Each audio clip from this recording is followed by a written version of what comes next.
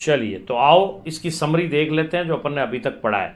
सबसे पहला क्वेश्चन के तौर पे अपन ने क्या पढ़ा था? Meaning and nature of strategic management meaning and nature of strategic management एक तरीके से फिर से पूरा चैप्टर रिवाइज हो रहा है आपके सामने। तो इसमें क्या है? मैंने हाईलाइट कर रखे word it is a key group in the organisation क्या है ये?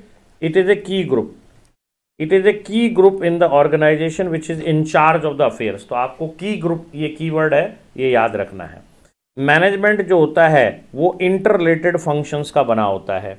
इंटर रिलेटेड फ़ंक्शंस होते हैं, वो कौन से होते हैं? P O D S C planning, organizing, directing, staffing और कंट्रोलिंग। ठीक है? मैनेजमेंट जो होता है हमारे यहाँ, वो इंटर रिलेटेड फ़ंक्शंस का ग्रुप होता है, जो कि बिज़नेस के ऑब्जेक्टिव को अचीव करने में मदद करता है। और ये फ़ंक्शन कौन से हैं? प्लानिंग, ऑर्गेनाइजिंग, डायरेक्टिंग, स्टाफिंग और controlling P O D S C ठीक है? फ़ंक्शन सब प्रोसेसेस में बटे होते हैं जो आपस में क्लोजली इंटर रिलेटेड होते हैं। जो आपस में क्लोजली इंटर रिलेटेड होते हैं। फिर दूसरे क्वेश्चन के तौर पे अपन ने पढ़ा था स्ट्रैटेजी क्या होती है? स्ट्रैटेजी जो होती है, वो गेम प्लान होती है। स्ट्रैटेजी क्या होती है? गेम प्लान होती है। जो कि बिज़नेस को, अपनी मार्केट पोजीशन अपने ऑपरेशंस को कैसे करना है कस्टमर को कैसे अट्रैक्ट और सेटिस्फाई करना है कंपटीशन को कैसे सक्सेसफुली हैंडल करना है बिज़नेस के ऑब्जेक्टिव कैसे अचीव करना है, उनमें मदद किया करता है। हमारी स्ट्रेटजी हमारा गेम प्लान है, जो कि हमें कौन सी मार्केट पोजीशन लेनी चाहिए, अपने ऑपरेशन कैसे कंडक्ट करने चाहिए कस्टमर को कैसे अट्रैक्ट सेटिस्फाई करना चाहिए सक्सेसफुली कैसे कंपीट करना चाहिए और बिज़नेस ऑब्जेक्टिव कैसे अचीव करने चाहिए, इनमें मदद करता है। स्ट्रैटेजी आपकी जो होती है, वो लॉन्ग रेंज ब्लू है, जो आपको डिजायर्ड इमेज बनाने में मदद करती है। ठीक है? Where it wants to go कहाँ जाना चाहते हो। लेकिन ये भी ध्यान रखना है स्ट्रैटेजी कोई सब्सटीट्यूट नहीं है। साउंड अलर्ट और रिस्पॉन्सिबल मैनेजमेंट का। ये सब्सटीट्यूट नहीं हो सकता हमारे साउंड अलर्ट और रिस्पॉन्सिबल मैनेजमेंट का। इसके अलावा स्ट्रैटेजी कभी भी नेवर परफेक्ट फ्लॉलेस और ऑप्टिमल होगी। स्ट्रैटेजी का नेचर ही होता है कि वो फ्लेक्सिबल होती है और रियलिस्टिक होती है प्रैग्मेटिक होती है। चाहे लार्ज ऑर्गेनाइजेशन हो शॉर्ट हो स्ट्रैटेजी तीन लेवल पे बनती है कॉरपोरेट डिविजनल और फंक्शनल ये हमने सेकंड क्वेश्चन के तौर पे पढ़ा था। मेरे ख्याल से सब चीज़ें वापस से रिवाइज हो रही है हमारी। सब चीज़ें फिर से रिवाइज हो रही हैं। ठीक है? फिर तीसरे क्वेश्चन के तौर पे अपन ने पढ़ा था strategy partly proactive and partly reactive होती है। Partly proactive pre plan and partly reactive मतलब अडाप्टिव होती है। ये प्री प्लान होती हैं। कंपनी की कोई भी स्ट्रेटजी जो बनाते हो, वो ब्लेंड से बनती है। दो चीज़ों को जोड़ने से मिक्स करने से बनती है। पहला होता है प्रोएक्टिव एक्शन पहला होता है प्रोएक्टिव एक्शन जो काफ़ी सोच समझ के बनाए जाते हैं।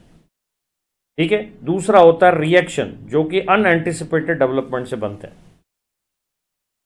स्ट्रैटेजिक मैनेजमेंट जो है, वो एक मैनेजरल प्रोसेस होता है। जिसके तहत सबसे पहले विजन बनता है, फिर मिशन बनता है, फिर गोल्स एंड ऑब्जेक्टिव सेट होते हैं, स्ट्रेटजी का निर्माण होता है, उसे इंप्लीमेंट करते हैं, उसे इवेल्युएट करते हैं और फिर करेक्टिव एडजस्टमेंट किए जाते हैं जहाँ जहाँ ज़रूरी होते हैं।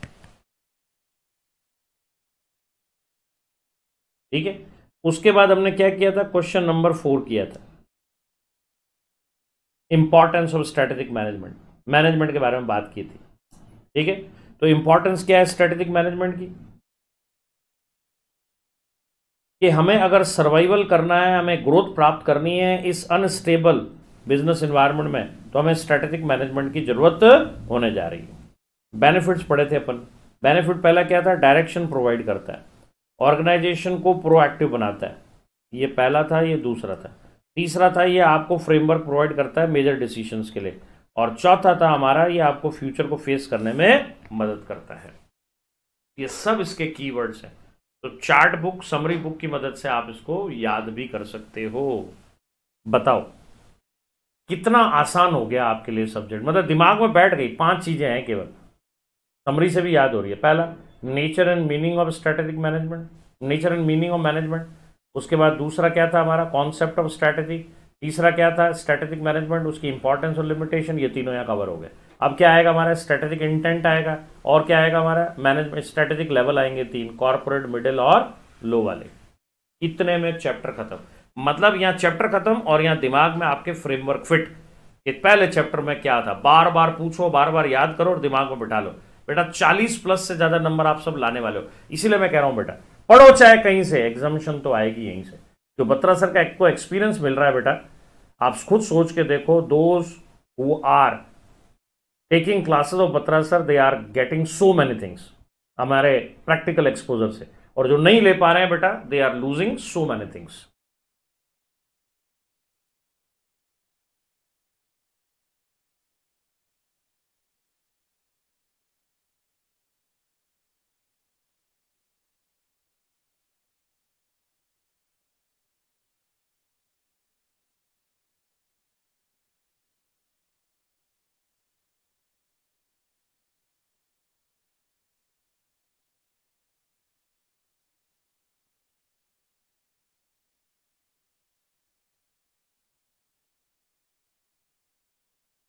चलिए चैट बॉक्स में मुझे बता दें।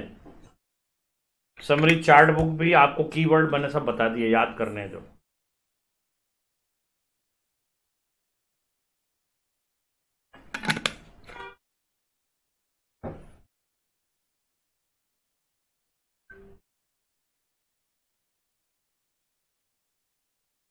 इसके अकॉर्डिंगली आपको सब लिखना है बस।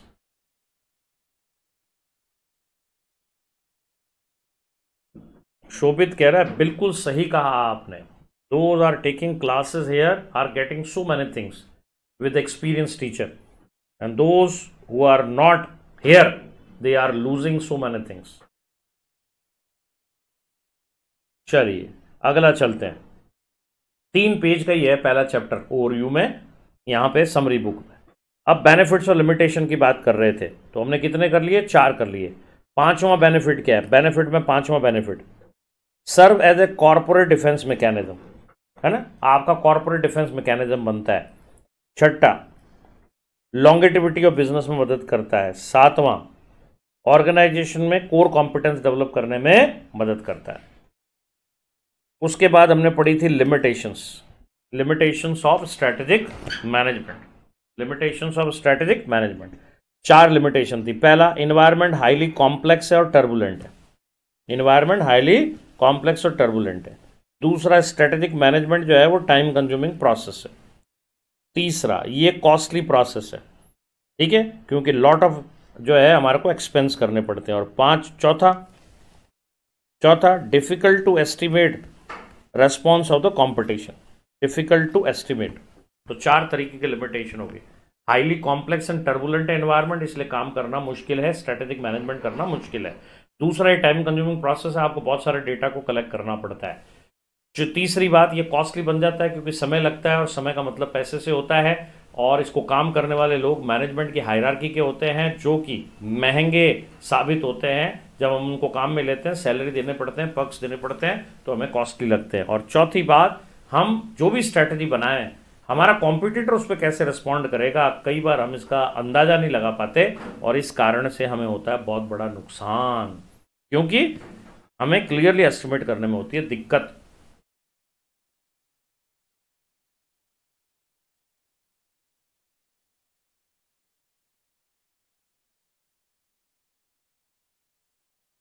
ठीक है? चलिए, अगला सवाल। तो पहला सवाल था मीनिंग एंड नेचर दूसरा कॉन्सेप्ट ऑफ़ स्ट्रेटेजी तीसरा strategic management importance and limitation अब आ जाओ क्वेश्चन नंबर पाँच पे। स्ट्रेटेजिक इंटेंट के ऊपर। स्ट्रेटेजिक इंटेंट क्या होता है? इंटेंट को आप समझ सकते हैं। Philosophical base of the strategic management क्या है ये? फिलोसॉफिकल बेस है स्ट्रेटेजिक मैनेजमेंट का। इंटेंट मतलब आपकी मंशा क्या है, इसको फिलोसॉफी के अंदाज में हम समझ सकते हैं कि आप स्ट्रेटेजिक मैनेजमेंट कैसे करते हो। आपका ये पर्पस बताया करता है, आपका ये पर्पस बताया करता है। स्ट्रेटेजिक इंटेंट आपको एक फ्रेमवर्क प्रोवाइड करता है, जिससे आप एक प्री डिटरमाइंड डायरेक्शन अडॉप्ट कर सकते हैं अपने ऑब्जेक्टिव्स को अचीव करने में। और आपको अपने ऑब्जेक्टिव को अचीव करने के लिए आपको विजन बनाने पड़ेंगे मिशन बनाने पड़ेंगे गोल्स और ऑब्जेक्टिव बनाने पड़ेंगे। तो कंपनी सबसे पहले क्या करे, सबसे पहले क्या करे, अपनी डायरेक्शन पाथ डिसाइड करे कि वो अपने प्रोडक्ट में, अपने मार्केट में, अपने कस्टमर और टेक्नोलॉजी में क्या अंतर करने जा रही है, क्या करने जा रही है, करंट मार्केट पोजीशन में। मैनेजर्स इसके लिए क्लियर होने चाहिए कि उनका रोल क्या होने वाला है। उनका रोल क्या होने वाला है। और इसके लिए वो इन्वायरमेंटल और ऑर्गेनाइजेशनल एनालिसिस किया करते हैं। अपने इंटेंट को डिसाइड करने के लिए वो दो प्रकार का एनालिसिस करते हैं एक्सटर्नल और इंटरनल इन्वायरमेंटल स्कैनिंग जो है, वो एक्सटर्नल फैक्टर्स की होती है ऑर्गेनाइजेशन जो होती है, वो इंटरनल फैक्टर्स की होती है. ठीक है? अगला सवाल जो है, वो वैल्यू पे है. वैल्यू सिस्टम क्या होता है आपका? वैल्यू सिस्टम क्या होता है आपका? ठीक है? वैल्यू सिस्टम का मतलब होता है आपका डीप रूटेड कल्चर मैं अगर आसान शब्दों में समझाऊं तो क्या कहेंगे अपन इसको? Deep rooted culture. T U L T U R culture. Deep rooted culture है आपका। मतलब आपके रोज़मर्रा के जीने का तरीका है, रोज़मर्रा के काम करने का तरीका है। अब कुछ एग्ज़ाम्पल हम वैल्यूज़ के दे रहे हैं। जैसे इंटीग्रिटी आप में जो बात कह दी उस पर टिके रहने की क्षमता है या नहीं है। ट्रस्ट लोग आप पर विश्वास करें या ना करें, विश्वास तोड़ देते हो। ठीक है? अकाउंटेबिलिटी अकाउंटेबिलिटी का मतलब होता है ज़िम्मेदारी का एहसास. ह्यूमिलिटी विनम्रता है आप में. इनोवेशन नई चीज़ लाते हैं आप. डाइवर्सिटी है. एक चीज़ पर टिकते नहीं अलग अलग चीज़ें लाते हैं. तो कॉमन एग्ज़ाम्पल है वैल्यूज़ के. Integrity trust accountability humility innovation diversity value जो होती है वो आपकी कोर रहती है सेंटर रहती है आपके विजन मिशन और गोल्स और ऑब्जेक्टिव को बनाते वक्त. तो मतलब ये आपकी मूल भावना है. मेरे में अगर वैल्यू सिस्टम ही अच्छा नहीं है तो मैं एक सक्सेसफुल बिजनेसमैन नहीं साबित होऊँगा। मेरे में वैल्यू सिस्टम अच्छा नहीं है तो मैं एक अच्छा नेता साबित नहीं होऊँगा। तो आपके वैल्यू सिस्टम स्ट्रांग होने चाहिए because it is the core of it is the core of any individual business और एनी कंट्री ये हमारे कोर में है, हमारे मुख्य धारणा में है, हमारी रोज़मर्रा की ज़िंदगी का हिस्सा है। और उसके बाद लास्ट क्वेश्चन आ जाता है हमारा question number seven strategic management के लेवल कितने होते हैं? तो जनरली तीन मैन तीन मेन मैनेजमेंट के लेवल होते हैं। कॉरपोरेट लेवल जिसको हम टॉप कहते हैं बिज़नेस लेवल जिसको हम मिडिल कहते हैं, और लो लेवल जिसको हम फंक्शनल लेवल कहते हैं। बात आई क्या समझ में? जो कॉरपोरेट लेवल मैनेजमेंट होता है, उसमें कौन बैठता है? चीफ एग्जीक्यूटिव ऑफिसर बैठता है अदर सीनियर एग्जीक्यूटिव बैठते हैं बोर्ड ऑफ़ डायरेक्टर बैठते हैं कॉरपोरेट स्टाफ बैठते हैं। अभी मैंने डायग्राम भी दिखाया था आपको इसका। जो सेकंड लेवल होता है, उसको बिज़नेस लेवल कहा जाता है। यहाँ पे जनरल मैनेजर्स बैठते हैं जीएम्स बैठते हैं। इनकी रेस्पॉन्सिबिलिटी क्या होती है? स्ट्रैटेजी बनाना डेवलपमेंट ऑफ़ स्ट्रैटेजी और फिर तीसरा लेवल होता है हमारा, ये पहला है, ये दूसरा है, और तीसरा हमारा है जो फंक्शनल लेवल मैनेजमेंट ये स्पेसिफिक बिज़नेस फ़ंक्शंस के लिए होते हैं, जैसे H R human resources R and D research and development accounting इनका काम होता है इनका। तो क्या ये पेज भी आपको क्लियर है और आपको माइंड में, अपने सब्जेक्ट को समझने में मदद कर रहा है कि नहीं कर रहा है?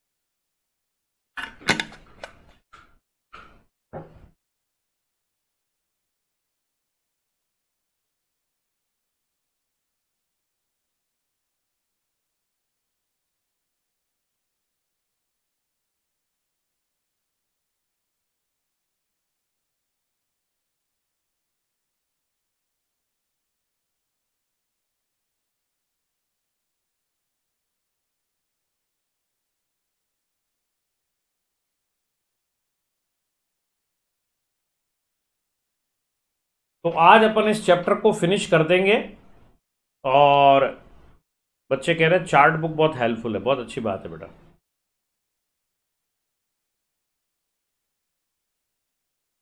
ये सब कुछ आपको मिलने जा रहा है बेटा, सब कुछ मिलने जा रहा है आपको।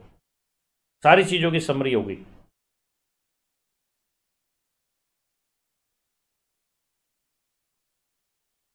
आप सोच के देखो बेटा, पत्रा सर अपना इंडिविजुअल ये प्रिंटेड प्रोडक्ट चार्ट बुक को अकेला फाइव हंड्रेड रुपीज़ में जो है वो अपने लिस्ट करने जा रहे हैं अपनी वेबसाइट पे। बहुत जल्दी वेबसाइट भी अपडेट हो जाएगी हमारी।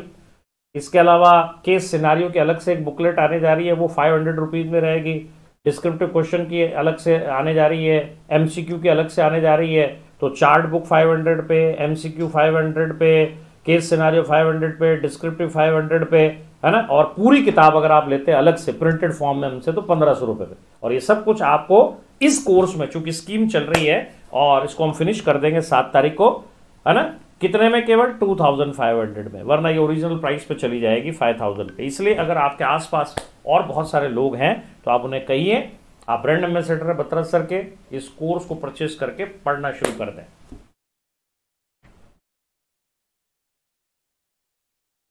चलिए।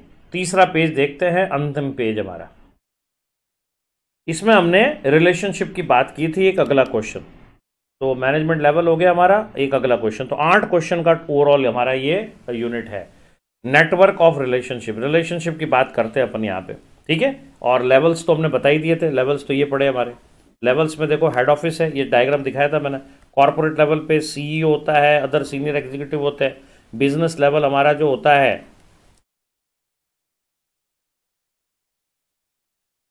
वो सेकंड लेवल होता है, वहाँ डिविजनल मैनेजर और उसका स्टाफ बैठा करता है।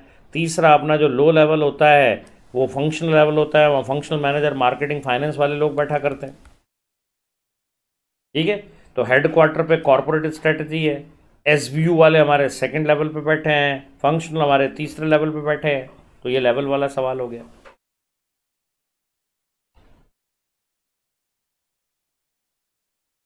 ठीक है? चलिए, आइए, अब बात कर देते हैं नेटवर्क ऑफ़ रिलेशनशिप की। तो पहले है हमारा रिलेशनशिप फंक्शनल और डिविजनल वाला, दूसरा है हॉरिजेंटल वाला और तीसरा है मैट्रिक्स रिलेशनशिप तीन प्रकार के रिलेशनशिप है हमारे। फंक्शनल और डिविजनल रिलेशनशिप में याद क्या करना है आपको? ये कीवर्ड याद रखना है। ये इंडिपेंडेंट होता है। दिस रिलेशनशिप इज़ इंडिपेंडेंट जहाँ फ़ंक्शंस और डिवीज़न इंडिपेंडेंटली काम करते हैं हेडेड बाय कौन हेड करता है? फंक्शनल या डिविजनल हेड तो फंक्शनल और डिविजनल रिलेशनशिप आपस में इंडिपेंडेंट है। ये एक दूसरे से बिना जो है, वो इंडिपेंडेंट रन कर सकते हैं अपने अपने हेड के द्वारा। हॉरिजॉन्टल रिलेशनशिप जो होता है, वहाँ पे टॉप मैनेजमेंट कंट्रोल करता है स्टाफ लेवल के एम्प्लॉयज़ को। स्टाफ लेवल के एम्प्लॉयज़ को कंट्रोल करता है। ये सेम लेवल पे हैं हमारे हायरार्चिकल पोजीशन पे। ये एक फ्लैट स्ट्रक्चर होता है, जहाँ everyone is considered at the same level तो इसकी खास बात क्या है? टॉप लेवल से सेम लेवल पे फ्लैट स्ट्रक्चर में सभी को आपस में मिलकर काम करने के लिए कहा जाता है। तो ये फ्लैट स्ट्रक्चर है, याद करना है। ये टॉप से बॉटम में काम करता है सेम लेवल के हायरार्चिकल पोजीशन पे काम करने वाले एम्प्लॉयज़ में काम करता है। तीसरा मैट्रिक्स रिलेशनशिप है। ये ग्रिड लाइक स्ट्रक्चर होता है। ग्रिड लाइक होता है। यहाँ पे टीम्स फॉर्म की जाती हैं, जो पीपल वेरियस डिपार्टमेंट से आते हैं। जैसे मैंने नैनो का एग्ज़ाम्पल दिया था। डिज़ाइनर अलग अलग जगह से आए थे। और एक temporary temporary task based project के आधार पर काम करते हैं, जैसे नैनो में हमने किया था। तो इसमें ग्रिड लाइक स्ट्रक्चर होता है, इसमें टीम्स फॉर्म की जाती हैं, जो इंडिपेंडेंट अलग अलग अलग अलग डिपार्टमेंट से आती हैं, और एक पर्टिकुलर टास्क को ध्यान में रख के बनाया जाता है। जैसे रतन टाटा की नैनो को हमने बनाया एग्ज़ाम्पल के तौर पर तो ये था हमारा चैप्टर नंबर वन और आपने पूरा देख लिया। अब इसके बाद आपके आ जाते हैं एमसीक्यू अब आप बताएँ एमसीक्यू आज लिए जाए या आप पूरा चैप्टर तैयार करेंगे, घर पे एक बार देंगे और हम कल एमसीक्यू लें? क्या कहना है आपका? मेरे हिसाब से चूँकि मैंने चैप्टर आज फिनिश किया है, एक बार घर पे बैठ के रिवाइज कर लो, तब आपको एमसीक्यू में जवाब देना ज़्यादा आसान अंडरस्टैंडेबल होगा। तो मेरे हिसाब से कल लेने चाहिए, पर अगर आप कहेंगे तो हम आज भी एमसीक्यू ले सकते हैं। क्या कहना है आपको, बताओ। तो तीन पेज में हमने खत्म कर दिया है हमारा पूरा chart book summary book chapter one का। चलिए, देखें चैप्टर नंबर दो की सेमेरी को। सबसे पहले स्ट्रेटेजिक एनालिसिस एक्सटर्नल एनवायरनमेंट इसका नाम है। इंट्रोडक्शन पार्ट में क्या कहते हैं? इंट्रोडक्शन पार्ट में हमें बताया गया है different kind of business activity जो हुआ करती हैं ऑर्गेनाइजेशन में, वो वो स्मॉल से लेके लोकल बिज़नेस से इंटरनेशनल और नेशनल लेवल बिज़नेस सभी के लिए हुआ करती हैं। ऑब्जेक्टिव यहाँ पे होता है कि इन्फॉर्मेशन को कंपाइल किया जाए इंटरनल और एक्सटर्नल इन्वायरमेंट से, ताकि हमें मार्केट में अपॉर्चुनिटी और थ्रेड का अध्ययन हो सके, और इसके लिए हम करते हैं स्ट्रैटेजिक एनालिसिस स्ट्रेटेजिक एनालिसिस क्या है? It is not a task in which manager can get by intuition opinion instinct और क्रिएटिव थिंकिंग इसके लिए बाकायदे फैक्ट चेकिंग लगा करती है इंट्यूशन से नहीं होता है। इन्वायरमेंटल स्कैनिंग जो होती है, वो एक नेचुरल और कंडीशनल एक्टिविटी होती है बिज़नेस के लिए। तो पहला फॉर्मुलेशन पर काम है, दूसरा इन्वायरमेंटल स्कैनिंग है। स्ट्रेटेजिक एनालिसिस जो होता है, उसमें दो चीज़ें करते हैं एक्सटर्नल एनालिसिस दूसरा इंटरनल एनालिसिस जब आप एक्सटर्नल एनालिसिस करते हैं तो आप इंडस्ट्री और कॉम्पिटेटिव कंडीशन को देख के मार्केट की अपॉर्चुनिटी थ्रेड का अध्ययन करते हैं। जब हम इंटरनल एनालिसिस करते हैं तो अपनी own capability strength and weakness का अध्ययन करते हैं तो एस और डब्ल्यू स्ट्रेंथ एंड वीकनेस का अध्ययन करते हैं। इस दौरान क्या क्या इश्यूज़ कंसीडर होने चाहिए हमारे सामने, हमें ये देखना है। तो पहला सवाल अगर आप देखें तो इस पर बन सकता है स्ट्रेटेजिक एनालिसिस पे। दूसरा, कौन से इश्यूज़ कंसीडर होते हैं, इस पे सवाल बन सकता है। तो तीन इश्यूज़ होते हैं, आपको पता है, हमने पढ़ा था। Strategy is not developed in a single day it evolve over a period of time जिसके मैंने कई उदाहरण आपको दिए थे। दूसरा there must be a balance between the management vision and their existing resources along with external environment balance score card approach होनी चाहिए। तीसरा there is always a risk due to uncertainty in external environment जिसको take care करना चाहिए। तो तीन issues बताए गए हैं हमारे यहाँ पे। स्ट्रेटेजी डेवलप नहीं होती सिंगल डे में। बैलेंस होना चाहिए। और तीसरा अनसर्टनिटी और रिस्क को ध्यान में रख के अपनी स्ट्रेटेजी का निर्माण करें। तो अब तक जो अपन ने समरी किया इसमें दो सवाल आपसे एग्ज़ाम में आ सकते हैं। डिस्क्रिप्टिव क्वेश्चन में। स्ट्रेटेजिक एनालिसिस क्या होता है, जरा बताइए। फॉर्मुलेशन इंट्यूशन इंस्टिंक्ट नहीं शुरू होता, ये बाकायदा एक फैक्ट चेकिंग से शुरू होता है। और इसके लिए हमें इन्वायरमेंटल स्कैनिंग करनी पड़ती है, जहाँ एक्सटर्नल इंटरनल दोनों फैक्टर का अध्ययन करते हैं हम लोग। फिर इश्यूज़ तीन हो गए। Strategy not developed in a single day balance होना चाहिए और रिस्क होनी चाहिए। कंसिडरेशन नेक्स्ट आता है it help in the business strategy and business environment का आपसी लेन देन क्या है? जो आपका बिज़नेस एनवायरमेंट होता है it help the business in the following way determine करता है आपको अपॉर्चुनिटी एंड थ्रेट अगर आप इन्वायरमेंट का एनालिसिस करते हैं, अध्ययन करते हैं तो आपको मार्केट की अपॉर्चुनिटी और थ्रेट के बारे में पता चलता है। ये आपको डायरेक्शन फॉर ग्रोथ प्रोवाइड करता है। ये कंटिन्यूस लर्निंग में हेल्प करता है। आपकी इमेज बिल्डिंग मदद करता है और कंपटीशन को मीट आउट करने मदद करता है। So strategy and business environment का अध्ययन आपको पाँच तरीके से हेल्प करता है। पहला अपॉर्चुनिटी और थ्रेट का अध्ययन करने में डायरेक्शन ऑफ़ ग्रोथ बताने में कंटिन्यूस लर्न करने में इमेज बिल्डिंग करने में और कंपटीशन को बीट करने में। नेक्स्ट है माइक्रो एंड मैक्रो इन्वायरमेंट अगला सवाल जो आपसे पूछा जा सकता है, वो है माइक्रो मैक्रो इन्वायरमेंट क्या है? या फाउंडेशन में जो पढ़ के आए हैं, वही चीज़ है। माइक्रो इन्वायरमेंट जो होता है, वो रिलेटेड होता है एम्प्लॉयज़ ऑफ़ द फर्म से और उनकी कैरेक्टरिस्टिक से एग्जिस्टिंग कस्टमर बेस से ways in which firm can raise their finance से फर्म के सप्लायर और लोकल कम्युनिटी से ये सारे फैक्टर इंटरनल या कहना चाहिए इमीडिएट पैरीफेरी के बाहर वाली चीज़ों से बने होते हैं। ये काफ़ी हद तक हम कंट्रोल भी कर सकते हैं मैनेज कर सकते हैं। तो ये हमारा अगर बिज़नेस है तो बिज़नेस के इमीडिएट बाहर इमीडिएट बाहर जो ये है, ये हमारा माइक्रो ये हमारा माइक्रो इन्वायरमेंट है। पेरीफेरी के इमीडिएट बाहर। ठीक है? उसके बाद बात करते हैं elements of macro environment micro की जगह मैक्रो हो जाएगा, मैक्रो इन्वायरमेंट एक्सटर्नल इन्वायरमेंट जो हमारा होता है, वो कई तरीके की चीज़ों का बना होता है और जिसमें सारे फैक्टर आपस में एक दूसरे से इंटरेक्ट करते हैं। तो उसमें आ जाता है डेमोग्राफिक मतलब पॉपुलेशन की size, sex ratio and so on. Socio cultural traditions आपके यहाँ क्या हैं? इकोनॉमिक इन्वायरमेंट देश की आर्थिक स्थिति क्या है? पॉलिटिकल, लीगल ऑलमोस्ट सभी को एक जैसे इफ़ेक्ट करता है। Ideology of the ruling party and competition and so on technology environment know how आपके पास समझ कितनी किसी चीज़ों की। तो ये मैक्रो इन्वायरमेंट को बताता है। अब यहाँ पे एक्सटर्नल मैक्रो इन्वायरमेंट के लिए हम करते हैं PESTEL analysis it is a tool to analyse the macro environment ये किसका टूल है? मैक्रो इन्वायरमेंट को एनालाइज करने का टूल है। पेस्टल एनालिसिस इंक्रीजिंगली यूज़ किया जाता है किसके लिए? छह चीज़ों को एनालिसिस करने के लिए जो कि एक्सटर्नल इन्वायरमेंट से आते हैं। पॉलिटिकल फैक्टर पी के लिए E economical S socio culture T technological L legal और ई e इन्वायरमेंटल तो पेस्टल जो है, वो एक्सटर्नल मैक्रो इन्वायरमेंटल फैक्टर्स का अध्ययन करने में मदद करता है। P political E economical S socio cultural T technological L legal और ई इन्वायरमेंटल बात आई कि सबको समझ में?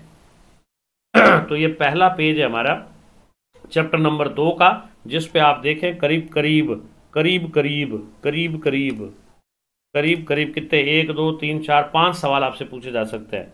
एक स्ट्रेटेजिक एनालिसिस पे, दो इश्यूज़ पे, तीन माइक्रो चार मैक्रो और पांचवा पेस्टल ध्यान से देखिए इस समरी चार्ट को। इस समरी चार्ट में छिपे हैं पाँच सवाल। पहला स्ट्रेटेजिक एनालिसिस क्या होता है बताइए। दूसरा what are the issues to be considered in strategic analysis तीसरा माइक्रो एनवायरमेंटल क्या एनालिसिस होता है बताइए, मैक्रो क्या होता है बताइए। चौथा, पांचवा पेस्टल, जो एक्सटर्नल मैक्रो एनवायरमेंट है, वो क्या होता है? ध्यान से देखिए इस समरी चार्ट के पहले पेज को। इसमें छिपे हुए हैं पाँच पाँच डिस्क्रिप्टिव सवाल।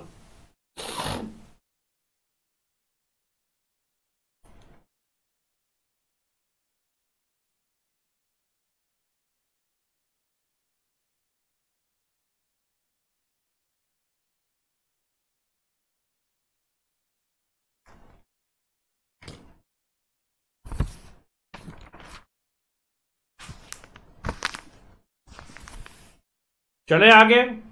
चलिए मूव करते हैं अब अगले पेज की तरफ़। नेक्स्ट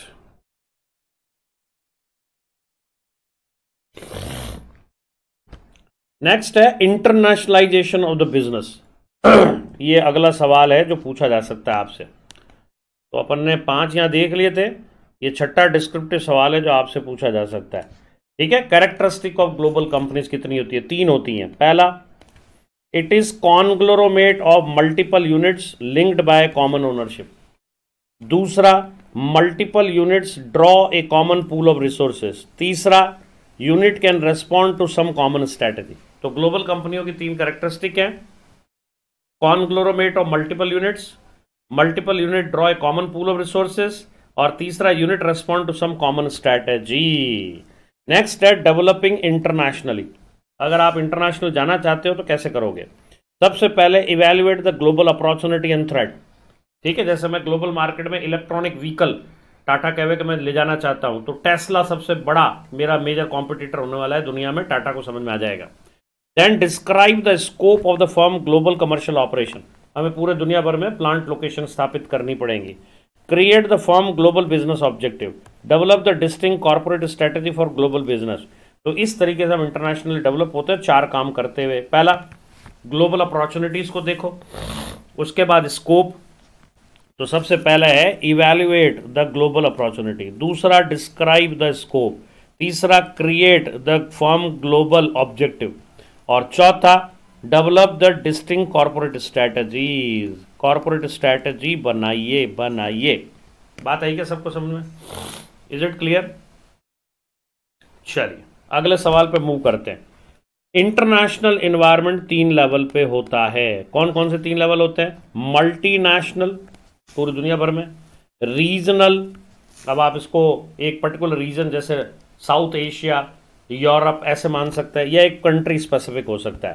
तो मल्टीनेशनल पहला है रीजनल दूसरा है कंट्री स्पेसिफिक तीसरा है। तीन तरीके के एनवायरनमेंट देखते हो इंटरनेशनली रीजनल मल्टीनेशनल जैसे पूरी दुनिया भर में छाए हुए हो। तो मल्टीनेशनल लेकिन केवल यूरोप में काम कर रहे हो, केवल मिडिल ईस्ट में काम कर रहे हो तो आप रीजनल हो। और अगर एक पर्टिकुलर देश में काम कर रहे हो तो आप कंट्री स्पेसिफिक हो। नेक्स्ट है प्रोडक्ट और इंडस्ट्री के बारे में बात करते हैं। क्वेश्चन नंबर एट प्रोडक्ट जो होते हैं, वो या तो टेंजिबल होते हैं या इंटेंजिबल होते हैं। मतलब फ़िज़िकल होते हैं या लॉजिकल हो सकते हैं सॉफ्टवेयर हो सकते हैं या कोई और हो सकता है। हर प्रोडक्ट का अपना एक प्राइस होता है। और बिज़नेस डिटरमाइन करता है कि उसके प्राइस में क्या फीचर हमें मिलने चाहिए। तो तीन चीज़ें हैं प्रोडक्ट के लिए। प्रोडक्ट या तो डिस्टिंक्ट होगा टेंजिबल होगा या इनटेंजिबल होगा। हर प्रोडक्ट का एक ना प्राइस होता है और बिज़नेस डिटरमाइन करता है प्रोडक्ट में कौन से फीचर इस प्राइस में हमें मिलने चाहिए। बात आई क्या सबको समझ में?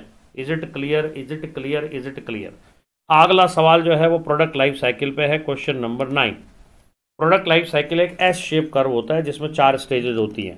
ठीक है? कैसा होता है? एस शेप कर्व होता है ऐसा। पहला इंट्रोडक्शन स्टेज दूसरा दूसरा ग्रोथ तीसरा मेच्योरिटी चौथा decline the first stage of PLC is introduction stage ठीक है, जहाँ स्लो सेल्स ग्रोथ होती है एंड सो ऑन जो सेकंड स्टेज होती है, उसको हम कहते हैं ग्रोथ स्टेज जहाँ रैपिड ग्रोथ होती है. तीसरा स्टेज होता है, उसको मेच्योरिटी कहते हैं, यहाँ पे स्लो डाउन होता है. और चौथा जो होता है the fourth phase of PLC is decline जहाँ पे शार्प डिक्लाइन होता है, नीचे गिरना शुरू हो जाता है चीज़ों का। कैसा हो जाता है? नीचे गिरना शुरू हो जाता है। ऐसे। बात आई क्या समझ में? तो प्रोडक्ट लाइफ साइकिल जो कि एस शेप कर्व है। कैसा कर्व है? एस शेप कर्व उसकी चार स्टेजेस है। इंट्रोडक्शन ग्रोथ मेचोरिटी और डिक्लाइन बात आई सबको समझ में? चलिए, अगले सवाल पे चलते हैं question number ten value chain analysis किसको कहते हैं? ये वाइडली यूज़ किया जाता है. It is widely use in describing the activity within and around the organisation activity within मतलब प्राइमरी अराउंड मतलब सेकेंडरी या supporting it begins with identifying the separate activity in primary and support level और assess करें कि ये हमको कैसे value add कर सकते हैं. प्राइमरी की बात करें तो पाँच मेन एरिया है प्राइमरी में.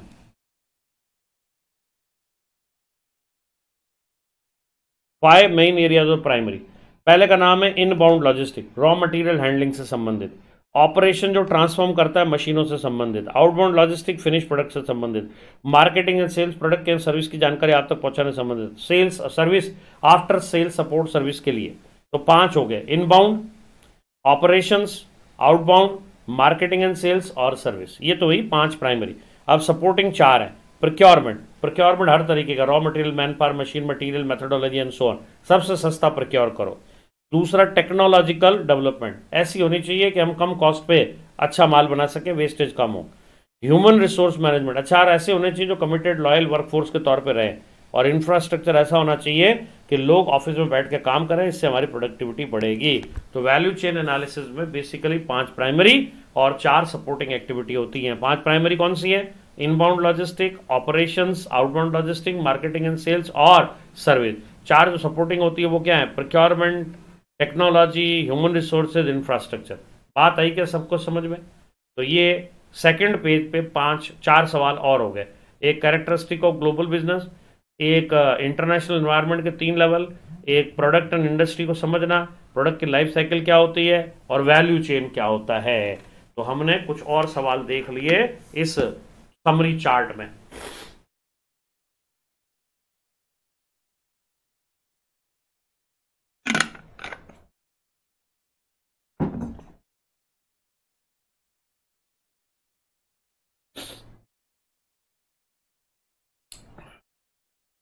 तो ध्यान से देख लीजिए, इसको भी। पहले पे पाँच सवाल हो गए, पाँच सवाल इस पे हो गए। पहले पे पाँच सवाल कौन कौन से थे? स्ट्रेटेजिक एनालिसिस क्या है? कौन से इश्यूज़ कंसीडर होते हैं माइक्रो मैक्रो क्या है और पेस्टल एनालिसिस यहाँ पे पाँच हमने डिस्कस किए characteristics of global business environment international environment के तीन अलग अलग लेवल प्रोडक्ट और इंडस्ट्री को समझना प्रोडक्ट लाइफ साइकिल को समझना और वैल्यू चेन एनालिसिस क्या होती है। बताइए। अरे कैसा लगता है? अरे अच्छा लगता है। अरे स्ट्रैटेजिक मैनेजमेंट अरे कैसा लगता है? बताइए जरा, बताइए। चैट में मुझे बताइए, कितना आसान हो गया आपके लिए strategic management on the fingertips हो गया हमारे। हर चीज़ को आसानी से हम समझ रहे हैं, याद कर रहे हैं। कॉन्सेप्ट लिखने में आसानी हो रही है हमारे को। कोई दिक्कत नहीं है इसको समझने में।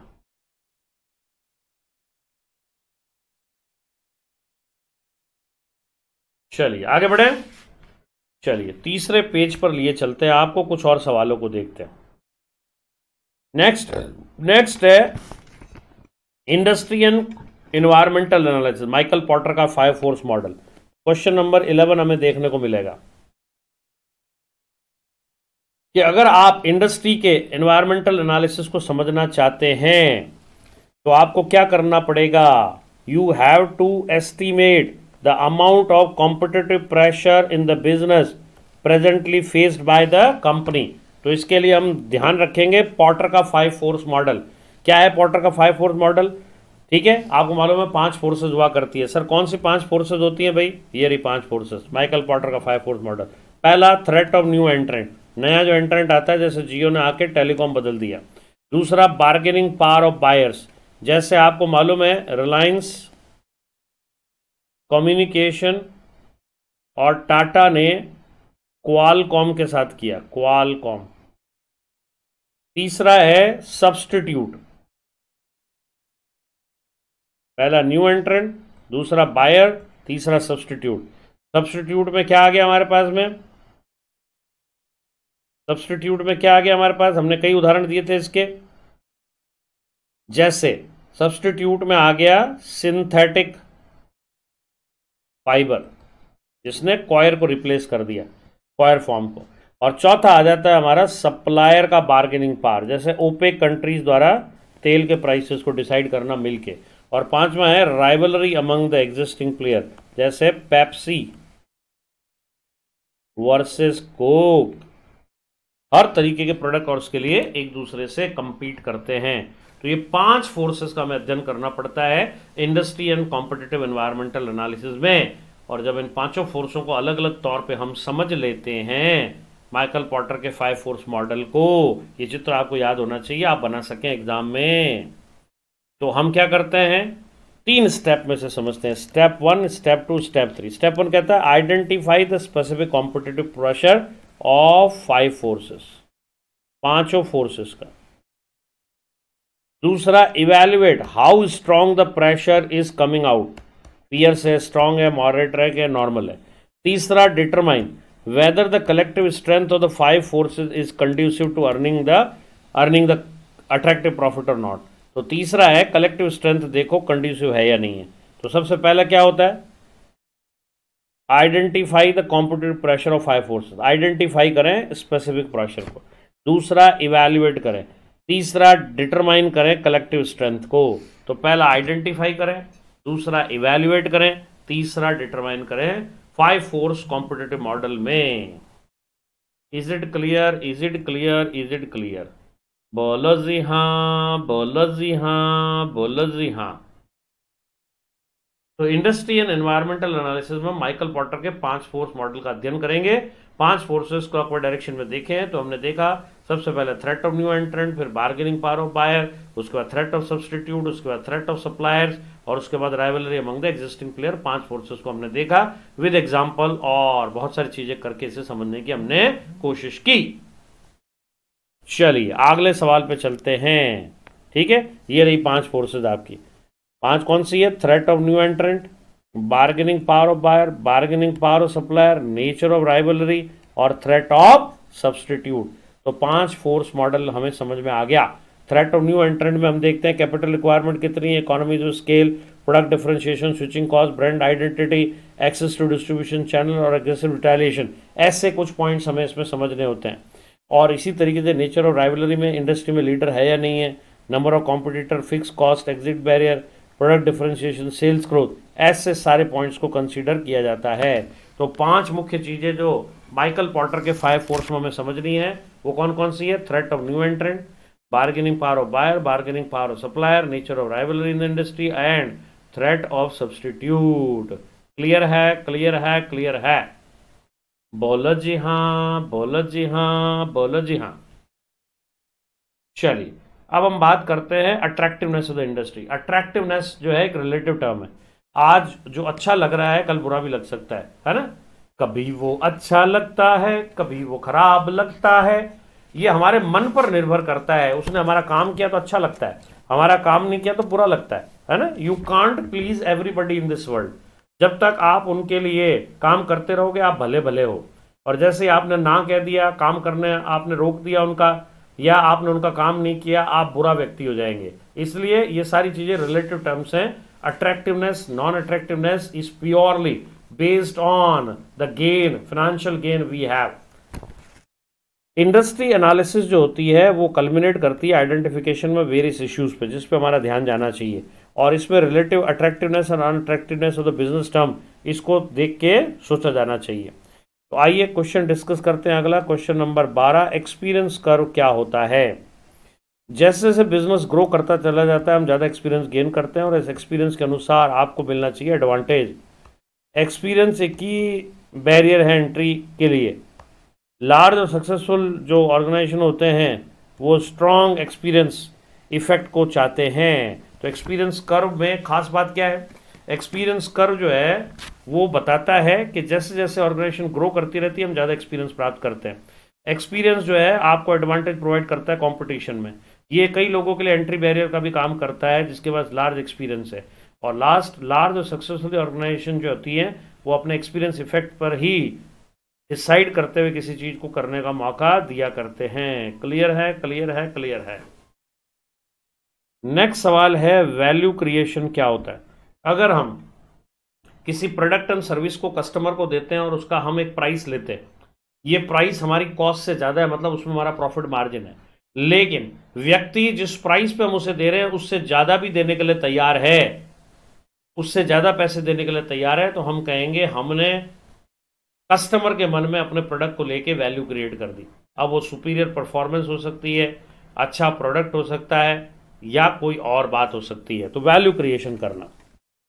The value customer places on the company's product the price that the company charges and the cost of creating these product तो बेसिकली वैल्यू क्रिएशन में तीन चीज़ें होंगी। पहला वैल्यू कस्टमर को जो पे करता है, वैल्यू जो कस्टमर पे करता है, उसको समझो।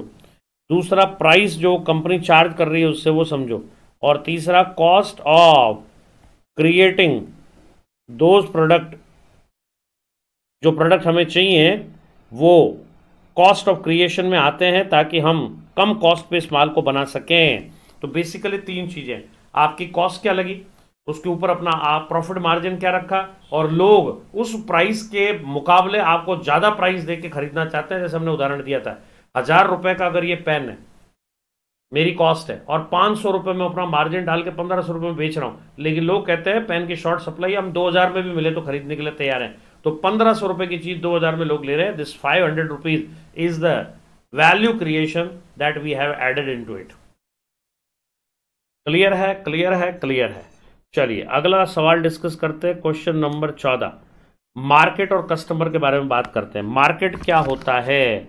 मार्केट एक ऐसा प्लेस होता है जहाँ पे इंटरेस्टेड पार्टी बायर और सेलर इकट्ठे होते हैं प्रोडक्ट एंड सर्विसेज़ को आदान प्रदान करते हैं फॉर ए प्राइस हम प्राइस पे करते हैं और हमें प्रोडक्ट एंड सर्विसेज़ उपलब्ध कराई जाती है। वो जगह जहाँ पे खरीदने वाले और बेचने वाले इकट्ठे होके अपने प्रोडक्ट एंड सर्विसेज़ को हमें उपलब्ध कराते हैं, इसे हम कहते हैं मार्केट ये मार्केट फ़िज़िकल हो सकता है, या ये मार्केट डिपार्टमेंटल स्टोर जैसा हो सकता है, या लॉजिकल हो सकता है, जैसे एक वेबसाइट हो सकती है स्टॉक एक्सचेंज हो सकता है एंड सो ऑन ठीक है? तो यहाँ हमें क्या ध्यान रखना है? कस्टमर कौन है? कस्टमर का एनालिसिस क्या है? कस्टमर का बिहेवियर क्या है? और उसके अनुसार हम external internal influences decision making और पोस्ट डिसीज़न मेकिंग पे बात करते हैं। तो बेसिकली हमें पहले मार्केट समझना होगा कि मार्केट क्या है। मार्केट वो जगह है जहाँ खरीदने और बेचने वाले आके माल को खरीदते बेचते हैं। अब ये फ़िज़िकल भी हो सकता है, लॉजिकल भी हो सकता है। शेयर मार्केट आजकल लॉजिकल ज़्यादा लगा करता है, फिजिकली हमें जाना नहीं पड़ता। तो इस दौरान हम कस्टमर को समझें, कस्टमर को एनालाइज करें कि वो हमें क्या क्या प्रोडक्ट मांग सकता है। कस्ट, कस्टमर का बिहेवियर देखें, कब कौन सी चीज़ खरीदारी करता है वो। फिर एक्सटर्नल इन्फ्लुएंसेस इंटरनल इन्फ्लुएंसेस को समझें और उसके बाद डिसीज़न मेकिंग करें, जिससे हमें इस काम को यूज़ करने में, आगे बढ़ाने में मदद मिले और फिर डिसीज़न मेकिंग के बाद अपने इस डिसीज़न को रेगुलरली चेक करो, क्या इसने सही रिज़ल्ट दिए या नहीं दिए। तो ये आपने तीसरा समरी पेज भी कर लिया, इस पर भी चार सवाल देख लिया आपने। पहला माइकल पॉटर का फाइव फोर्थ मॉडल देख लिया आपने। दूसरा एक्सपीरियंस कर्व को समझ लिया। नेक्स्ट वैल्यू क्रिएशन का कॉन्सेप्ट समझा और बाद में मार्केट एंड कंज्यूमर को समझा। यहाँ तक किसी को कोई दिक्कत है तो हमें बताएँ। Let me know let me know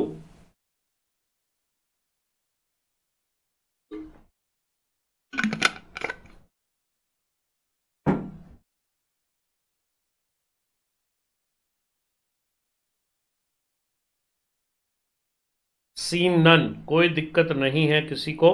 तो हम बढ़ते हैं आगे आगे आगे। आइए। तो हमने चौदह सवाल तक देख लिए, अब देखते हैं यहाँ पे कितने हवाल हमारे लिए हैं।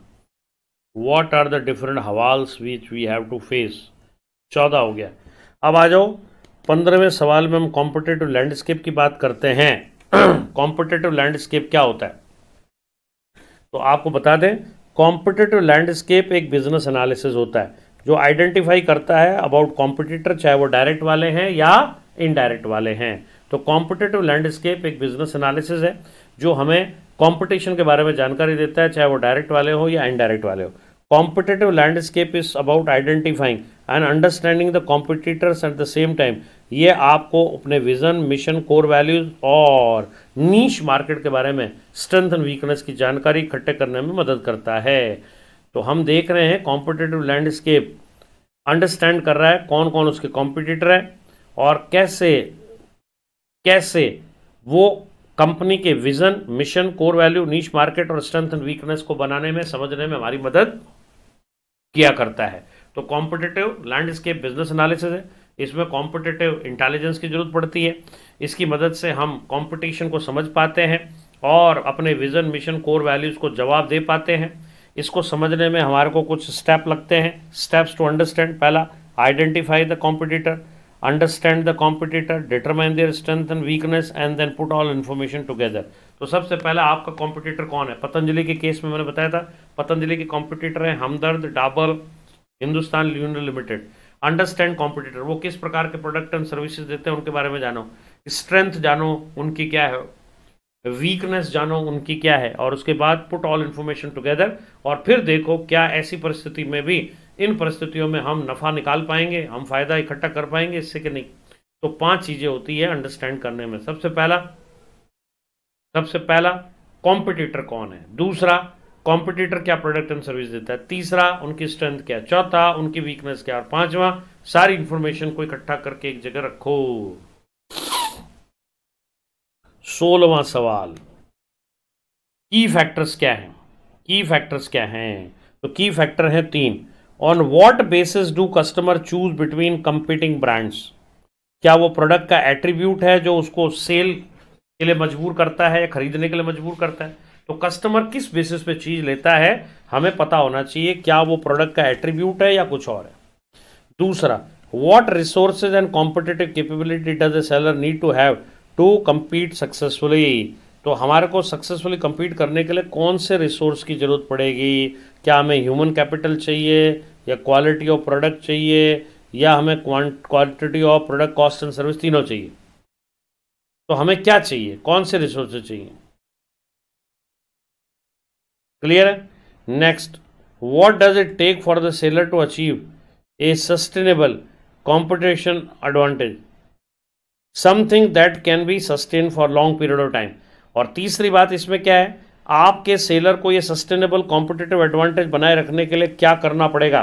ताकि लंबी रेस के घोड़े तक मार्केट में वो टिके रहें। तो तीन की फैक्टर है। पहला कस्टमर कोई भी प्रोडक्ट खरीदना चाहता है तो उसके क्या एट्रीब्यूट होते हैं?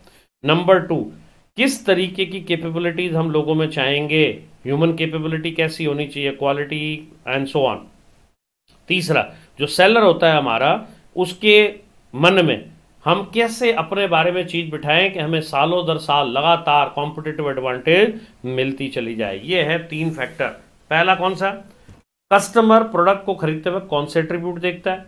दूसरा, कौन से रिसोर्सेज और कैपेबिलिटीज विकसित होने चाहिए? जैसे ह्यूमन कैपिटल आपका अच्छा है क्वालिटी ऑफ़ प्रोडक्ट आपका अच्छा है या कोई और? और तीसरा सेलर जो होता है, उसके पास कॉम्पिटेटिव एडवांटेज बने, इसके लिए लगातार साल दर साल वो क्या करे? बात आई क्या सबको समझ में? और उसके बाद माइकल पॉटर का फाइव फोर्थ मॉडल तो आ ही गया हमारे पास, जो हमने पीछे कवर कर लिया। तो देख लो, पंद्रह सोलह सवाल इस चैप्टर से बन सकते हैं।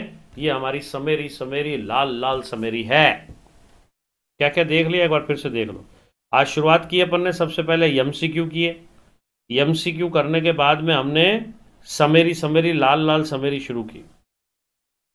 सबसे पहला सवाल जो कि हमने देखा यहाँ पे, वो क्या था? स्ट्रेटेजिक एनालिसिस के ऊपर।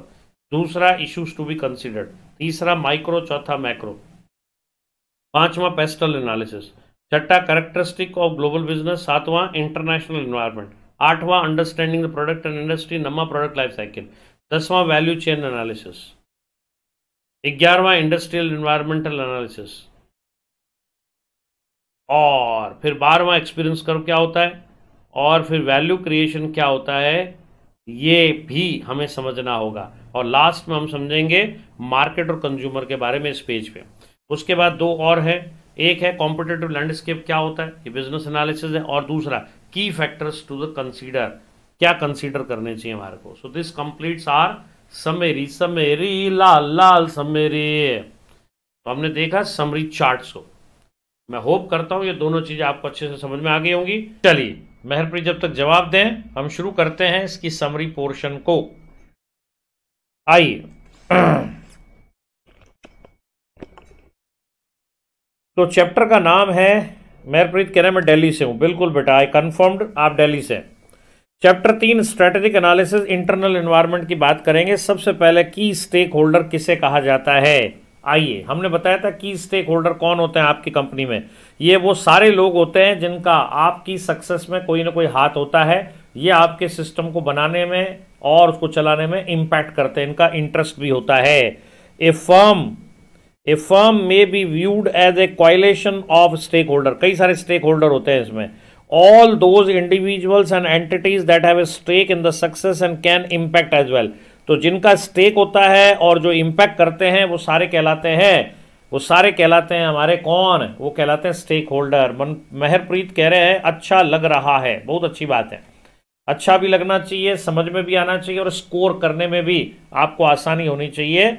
ये हमारी बेटा क्लासेस का मेन फंडा रहता है। It may be related that the stakeholders, reiterated that stakeholders can be defined as any person or group of individual, internal or external. तो यहाँ बताया है कि स्टेक होल्डर क्या होते हैं? ग्रुप ऑफ़ पीपल होते हैं या पर्सन होते हैं। जैसे सीईओ हो सकता है, जैसे और एम्प्लॉयज़ हो सकते हैं या किसी पर्टिकुलर एक डिपार्टमेंट के लोग हो सकते हैं। Generally stakeholders include management के लोग employ shareholders customers and vendors तो हमारे स्टेक होल्डर में बहुत सारे लोग आ जाते हैं। मैनेजमेंट जो मैनेज करते हैं, चीज़ों को चलाते हैं एम्प्लॉय जो काम करते हैं शेयर होल्डर जिनका पैसा लगा है कस्टमर जो माल खरीदते हैं, और वेंडर जो हमें माल सप्लाई करते हैं। ये सारे लोग हमारे की स्टेक होल्डर्स हैं, जिनका कोई ना कोई पावर इंपैक्ट और इंटरेस्ट ऑर्गेनाइजेशन में रहता है। ऑर्गेनाइजेशन के अच्छे और बुरे से इन पर प्रभाव पड़ता है, और इनके लिए जाने वाले डिसीज़न से ऑर्गेनाइजेशन पर प्रभाव पड़ता है। इसलिए इनको कहते हैं स्टेक होल्डर्स आइए एग्ज़ाम्पल ऑफ़ स्टेक होल्डर आपको बताते हैं। शेयर होल्डर हो गए CEO and board of director हो गए मेजर वेंडर प्रोडक्शन हाउसेज हो गए कस्टमर्स या व्यूअर्स हो गए एम्प्लॉयज़ हो गए। ये सारे के सारे लोग क्या कहलाएँगे हमारे? की स्टेक होल्डर्स कहलाएँगे। तो पहला टॉपिक जो हमारा था की स्टेक होल्डर जिसको अपन ने मैंडिलो मैट्रिक्स के तहत समराइज किया था हाई इंपैक्ट हाई पावर वाले लोगों से लेके low impact low power low power के लोगों तक, वो सारी चीज़ आपने मैंडिलो मैट्रिक्स में देखी। तो आइए बात करते हैं अब मैंडिलो मैट्रिक्स की। The Mendelow shareholder matrix is a simple framework क्या है ये सिंपल फ्रेमवर्क है? To help manage key stakeholder ये की स्टेक होल्डर को मैनेज करने में हमारी मदद करता है। जितने भी की स्टेक होल्डर है, उनको मैनेज करने में मदद करता है। Mendelow suggested that one should analyse stakeholder group based on the power and interest ये सारा खेल किस किस का है? पावर का है और इंटरेस्ट का है। किसी एक स्टेक होल्डर के पास कितना पावर है और वो कितना इम्पैक्ट करता है हमारी ऑर्गेनाइजेशन को, उसके हिसाब से हम उसको सेटिस्फाई करते हैं इन्फॉर्म्ड करते हैं, उसकी बात मानते हैं। अगर कंपनी का कोई ओनर ग्रुप है मेजर शेयर होल्डर है कंपनी का कोई सीईओ है तो नेचुरली वो हायर इम्पैक्ट डालता होगा ऑर्गेनाइजेशन के डिसीज़न मेकिंग में और उसका पावर भी बहुत ज़्यादा होता होगा। तो आइए डेवलप करते हैं ग्रिड ऑफ़ स्टेक होल्डर ठीक है? इसमें सबसे पहले हमारे पास आते हैं की प्लेयर्स की प्लेयर्स कौन लोग होते हैं? Key players are the high power high interested people मतलब की पावर जो होता है ना हमारा, इसमें वो लोग आ जाया करते हैं जिनका स्टेक भी बहुत बड़ा होता है और जिनकी सेइंग भी बहुत बड़ी होती है और जिनके बिना ऑर्गेनाइजेशन को चलाना भी हमारे लिए मुश्किल होता है। ऐसे लोगों को हम क्या कहते हैं? ऐसे लोगों को हम कहते हैं की प्लेयर्स तो की प्लेयर्स में कौन कौन आ जाएगा हमारे? की प्लेयर्स में आ जाएँगे कंपनी के सीईओ e या आ जाएँगे shareholders board of directors तो इसमें कौन कौन आ जाएगा? की की जो है ना, जैसे शेयर होल्डर ये पहला वाला जो शेयर होल्डर है सीईओ बोर्ड ऑफ़ डायरेक्टर है, ये सब हमारे आ जाएँगे किसमें? की प्लेयर्स में आ जाएँगे। इनको हम कहेंगे की प्लेयर्स क्योंकि इनका इम्पैक्ट भी बहुत तगड़ा है और इनकी सेइंग भी बहुत तगड़ी है पावर भी बहुत है इनका। उसके बाद आता है कीप सेटिस्फाइड कीप सेटिस्फाइड जो स्टेक होल्डर होते हैं, उनका पावर हाई होता है, लेकिन वो लेस इंटरेस्टेड पीपल हुआ करते हैं। ऐसे लोग कौन है? बैंक्स हैं गवर्नमेंट है। बैंक है गवर्नमेंट ऑफिशियल है। ठीक है? कस्टमर्स हैं। वो इस कैटेगरी में आ जाते हैं। और इसमें शेयर होल्डर आ जाएँगे।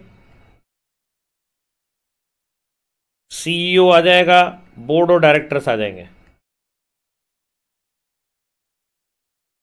उसके बाद आते हैं लो प्रायोरिटी स्टेक होल्डर जिनका पावर भी लो है इंटरेस्ट भी लो हुआ करता है। ऐसे लोग कौन आ जाते हैं? बिज़नेस मैगजीन्स मीडिया हाउसेस तो मीडिया हाउसेस और बिज़नेस मैगजीन्स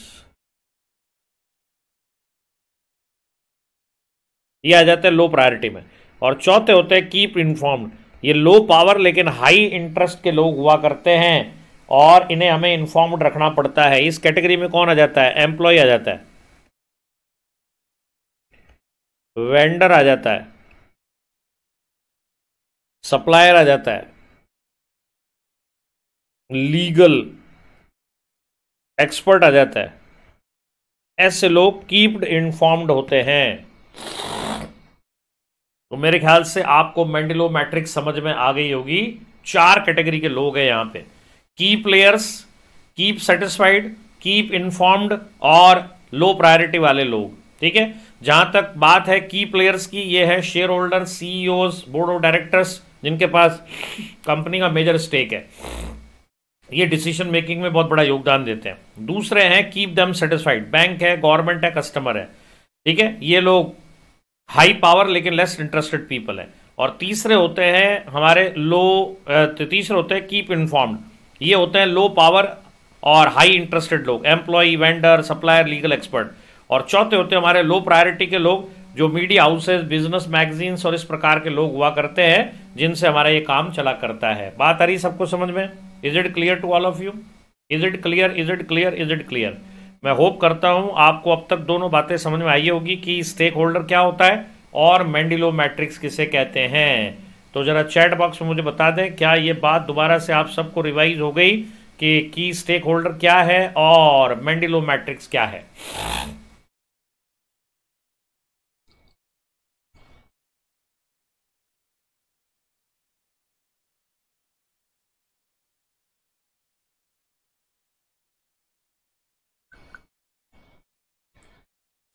चलिए तो सभी को समझ में आ गई, अच्छी बात है। आगे बढ़ते हैं अपन। तो ये पहला टॉपिक था हमारा, दूसरा टॉपिक है स्ट्रैटेजिक ड्राइवर्स स्ट्रैटेजी को चलाने वाले चार factor the key strategic driver of the organization include industry and market customer product and services और चैनल चार तरीके की चीज़ें होती है, ये एमसीक्यू के लिए भी याद रखें। Industry and market customers product services and channel industry का मतलब क्या होता है? इंडस्ट्री का मतलब होता है जहाँ राइवल लोग सेम टाइप के प्रोडक्ट एंड सर्विसेज़ ऑफ़र कर रहे हैं। जैसे ऑटोमोबाइल इंडस्ट्री तो ऑटोमोबाइल बनाने वाली सारी कंपनियाँ इस इंडस्ट्री में हो जाएँगी। चाहे टाटा हो जाए मारुति हो जाए जनरल मोटर हो जाए होंडा हो जाए हुंडई हो जाए जनरल मोटर्स हो जाए, या कोई भी हो जाए। मार्केट का मतलब जहाँ बायर और सेलर मिलते हैं और प्रोडक्ट एंड सर्विसेज़ खरीद के पैसे का आदान प्रदान करते हैं। तो मार्केट बायर और सेलर से बनता है।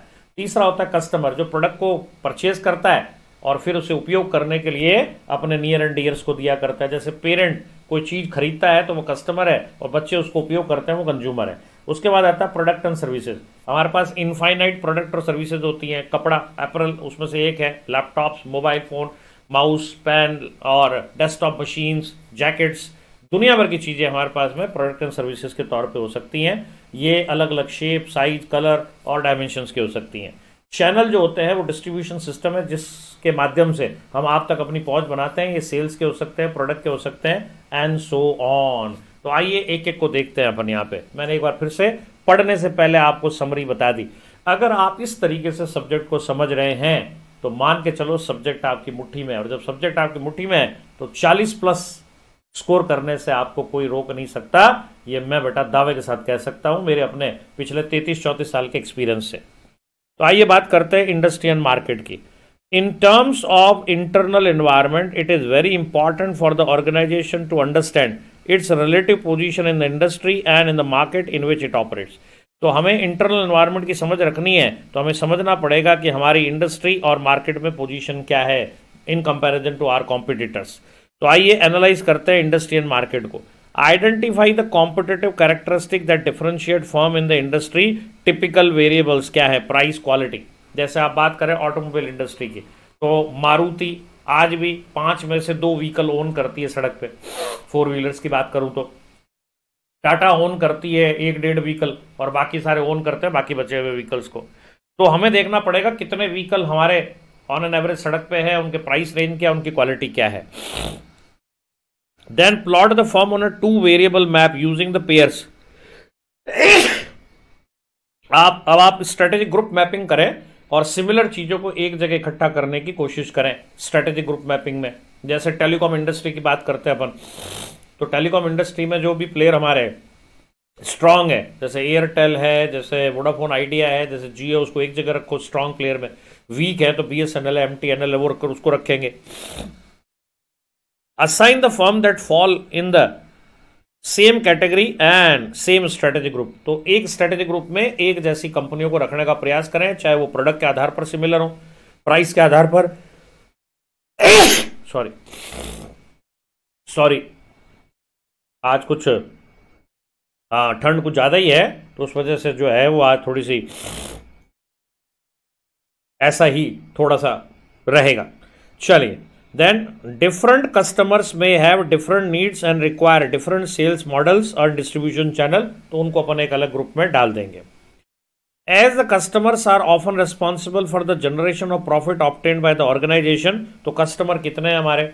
लॉयल हैं या नहीं है? एंड सो ऑन अब हम बात करते हैं कस्टमर वर्सेस कंज्यूमर की। कंज्यूमर वो होता है जो एक्चुअली कंज्यूम करता है और कस्टमर वो होता है जो खरीदता है। तो जैसे पेरेंट बन के मैंने अपने बच्चों के लिए कुछ खरीदा तो मैं हो गया कस्टमर मेरे बच्चे हो गए पेरेंट्स तो मेरे बच्चे हो गए consumers consumers are ones who finally use the product and service while customer are those buyers of that product a customer can have consumer and vice versa तो जैसे अगर आपने ये कोर्स खुद खरीदा है तो आप कंज्यूमर हैं, लेकिन कोर्स खरीदा है आपके पेरेंट्स ने। पेमेंट किया उन्होंने, यूज़ कर रहे हैं आप तो वो तो हुए कस्टमर और आप हो गए उनके कंज्यूमर्स बात आई कि सबको समझ में? तो हमने ऑलमोस्ट दो टॉपिक कर लिए हैं। आगे हमने और करना है प्रोडक्ट एंड सर्विस को, और हम देखेंगे और चैनल्स को भी। लेकिन हमने की स्टेक होल्डर और स्ट्रैटेजिक ड्राइवर्स को पढ़ने की कोशिश की। तो क्या इस पेज में किसी को कोई दिक्कत है? मुझे जरा से चैट में बताएँ चैट बॉक्स में क्या यहाँ तक क्लियर है सबको? ये समरी हो रही है पूरे के पूरे हमारे चैप्टर की।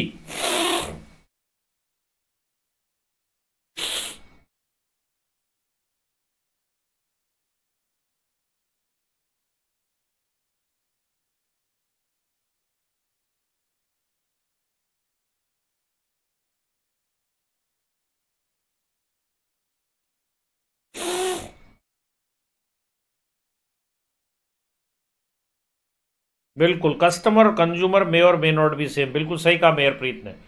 अगर मैं अपने बच्चों के लिए ले रहा हूँ तो मैं कस्टमर हो गया कंज्यूमर और हो गया। लेकिन मैं ही ले रहा हूँ और मैं ही कंज्यूम कर रहा हूँ then customer and consumer are same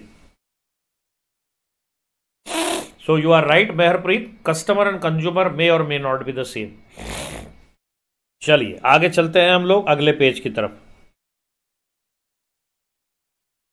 Product and services. Strategic driver में बात करें, प्रोडक्ट, सर्विस की और चैनल की बात करते हैं अपन जब भी कोई आप एक नया प्रोडक्ट बनाते हैं तो उसकी प्राइसिंग पॉलिसी को लेके खूब सारी स्ट्रैटेजियाँ काम करती है कि इसकी प्राइस को हम क्या रखें।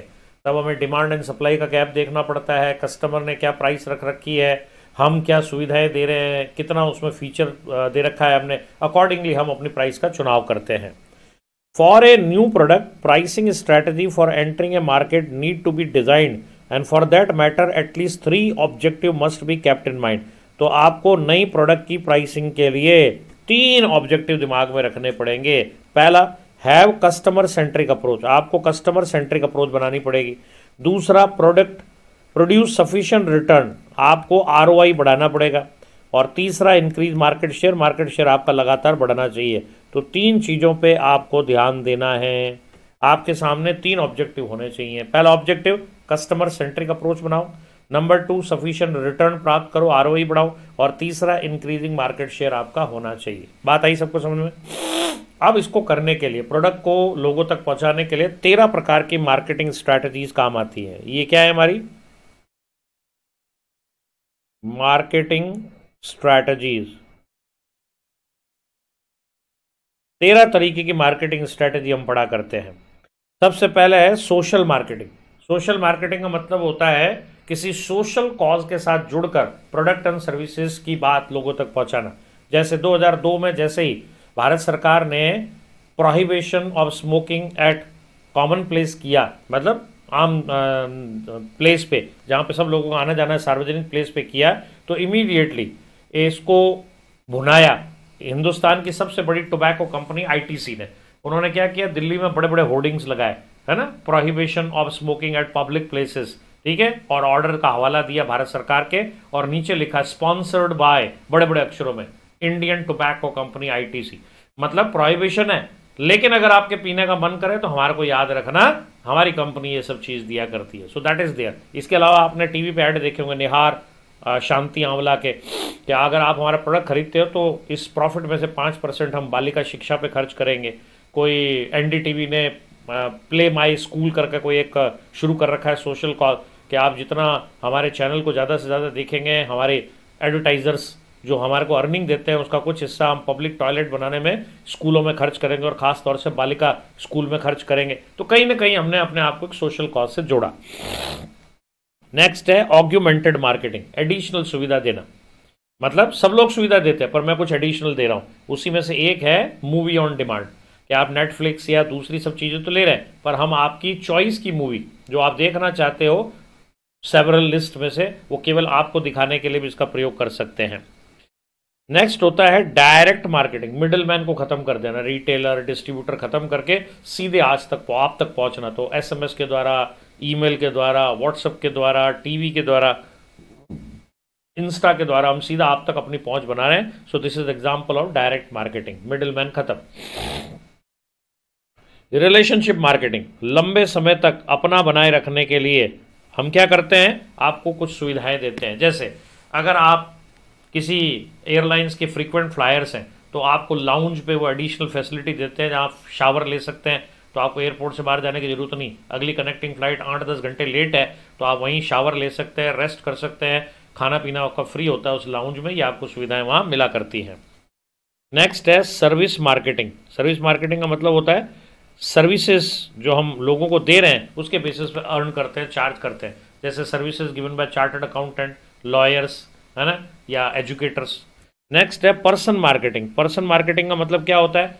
इंडिविजुअल अपनी मार्केटिंग करता है ताकि उसको कमाई के अवसर मिल सके। तो हमारे जितने फ़िल्म स्टार्स हैं, जितने हमारे क्रिकेट या गेम गेमिंग स्टार्स हैं, या हमारे पॉलिटिशियंस हैं, वो अपनी इमेज को बिल्टअप करने के लिए हमेशा पर्सन मार्केटिंग का सहारा लेते हैं पीआर का सहारा लेते हैं। ऑर्गेनाइजेशन मार्केटिंग अपनी ऑर्गेनाइजेशन को अच्छा दिखाने के लिए, जैसे सपोज़ किसी कंपनी का आईपीओ लाने वाले हैं अपन तो उस कंपनी के बारे में अच्छी अच्छी बातें हमने कब शुरुआत की थी, क्या फ़ायदा अब तक लोगों को दिया, हमारे प्रोडक्ट एंड सर्विसेज़ क्या है, सरकार से हमें क्या अब तक इनाम मिल चुके हैं, लोग हमारे बारे में क्या सोचते हैं, ऐसी बातें हम करते हैं ताकि लोग हमारी तरफ़ आकर्षित हो और जब हम आई लेके आए तो वो कई गुना ओवर सब्सक्राइब हो। ऑर्गेनाइजेशन मार्केटिंग ये आप इसका उपयोग चुनावों से पहले विभिन्न राज्य सरकारों या पार्टियों द्वारा अपने आप को उभारने के लिए, लोगों के मन में बैठाने के लिए भी किया जाता है। प्लेस मार्केटिंग जगह को फ़ेमस करना, है ना? जैसे उदयपुर अभी आपको पता मालूम होगा, आमिर खान की बड़ी लड़की जो है, इरा खान, उसकी शादी हो रही है। उससे पहले कई लोग उदयपुर में जो है, वो शादी कर चुके हैं। जोधपुर में उमेद भवन पैलेस में कर चुके हैं शादियाँ। तो ये प्लेस मार्केटिंग है। जगह को फ़ेमस करना ताकि वहाँ टूरिज़्म बड़े लोग आए। इन लाइटेड मार्केटिंग मतलब एक ऐसी सुविधा देना जिससे मन मन खुशी से गदगद हो जाए। शेयर ब्रोकर आपको टिप देता है, उसके वो आपसे कंसल्टेंसी चार्जेस लेता है। लेकिन उसके कारण आपको होता है ज़बरदस्त नफ़ा। तो ये केवल क्या करता है? आपको खुशी नहीं देता, आत्मिक संतोष भी देता है। और हम इसको कहते हैं इनलाइटेड मार्केटिंग रग रग खुशी से भर गया हमारा।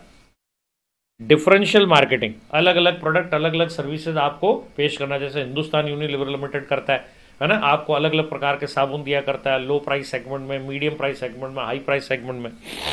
सिंक्रो मार्केटिंग अगर आपकी डिमांड सप्लाई जो है वो अलग अलग समय में अलग अलग हो जाती है। जैसे आपने देखा होगा सैटरडेज एंड संडेज के दिन मूवी टिकट महँगे होते हैं, जबकि मंडे से लेके थर्सडे तक मूवी टिकट्स के प्राइस कम होते हैं। क्योंकि मालूम है मंडे से थर्सडे वर्किंग डेज़ है, लोग कम आते हैं थिएटर में तो हम प्राइस कम रखते हैं ताकि वो ज़्यादा आए।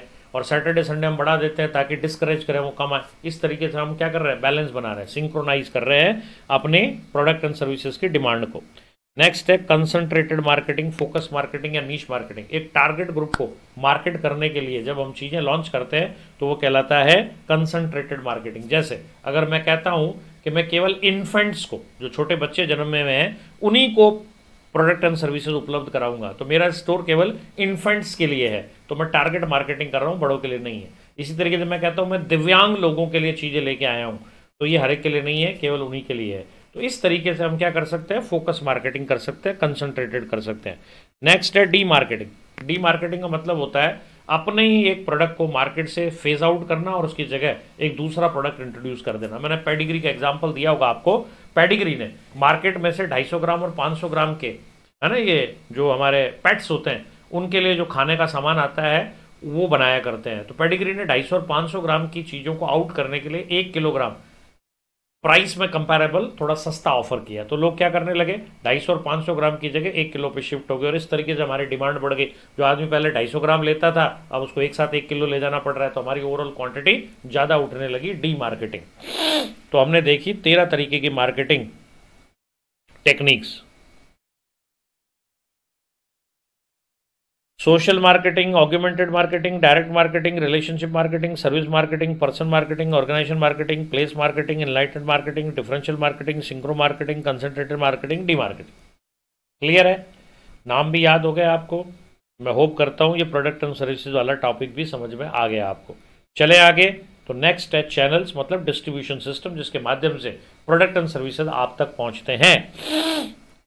Channels are the distribution system channel क्या है हमारे? डिस्ट्रीब्यूशन सिस्टम है by which an organisation distribute its product and provide the services तो इसके माध्यम से ऑर्गेनाइजेशन हमें अपने प्रोडक्ट एंड सर्विसेज़ उपलब्ध करवाया करता है। There are typically three channel हमारे सामने तीन चैनल होते हैं सेल्स चैनल प्रोडक्ट चैनल और सर्विस चैनल तीन प्रकार के चैनल है। सेल्स एक प्रोडक्ट दूसरा सर्विस तीसरा। Sales channel product channel service channel तीन प्रकार के चैनल होते हैं, जिनके माध्यम से हम अपने प्रोडक्ट एंड सर्विसेज़ को आप तक पहुंचाते हैं। सेल्स चैनल मतलब कैसे माल बेचा जाए। प्रोडक्ट चैनल मतलब कैसे बनाया जाए। और सर्विस चैनल मतलब कैसे आफ्टर सेल सर्विस सपोर्ट आपको दिया जाए। तीन चीज़ें। सेल्स चैनल बेचने के लिए प्रोडक्ट चैनल बनाने के लिए सर्विस चैनल आपको सुविधा देने के लिए कि वो लगातार काम करता रहे इंस्पाइट ऑफ़ और despite of various repair related maintenance related problems बात आई क्या सबको समझ में? तो हमने स्ट्रैटेजिक ड्राइवर्स चारों पढ़ लिए। है ना? कौन कौन से थे चार हमारे? पहला इंडस्ट्री एंड मार्केट दूसरा कस्टमर कंज्यूमर तीसरा प्रोडक्ट ऑब्लिक सर्विसेज़ और चौथा चैनल्स तीन चैनल हो गए सेल्स चैनल प्रोडक्ट चैनल और सर्विस चैनल क्लियर है क्लियर है क्लियर है। बोलो जी हाँ बोलो जी हाँ बोलो जी हाँ।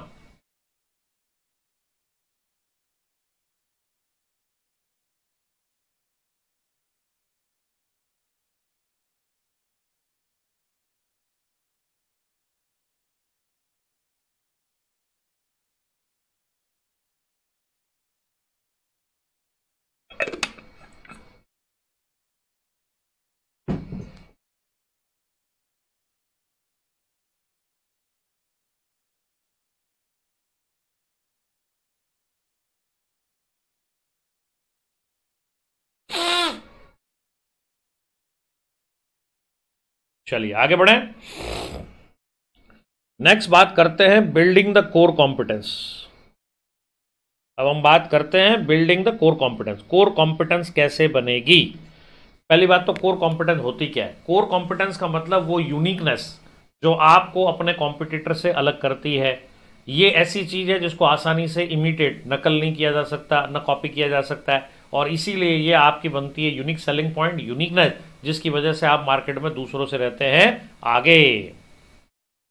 मेहरप्रीत कह रहा है सिंक्रो मार्केटिंग दोबारा समझाना।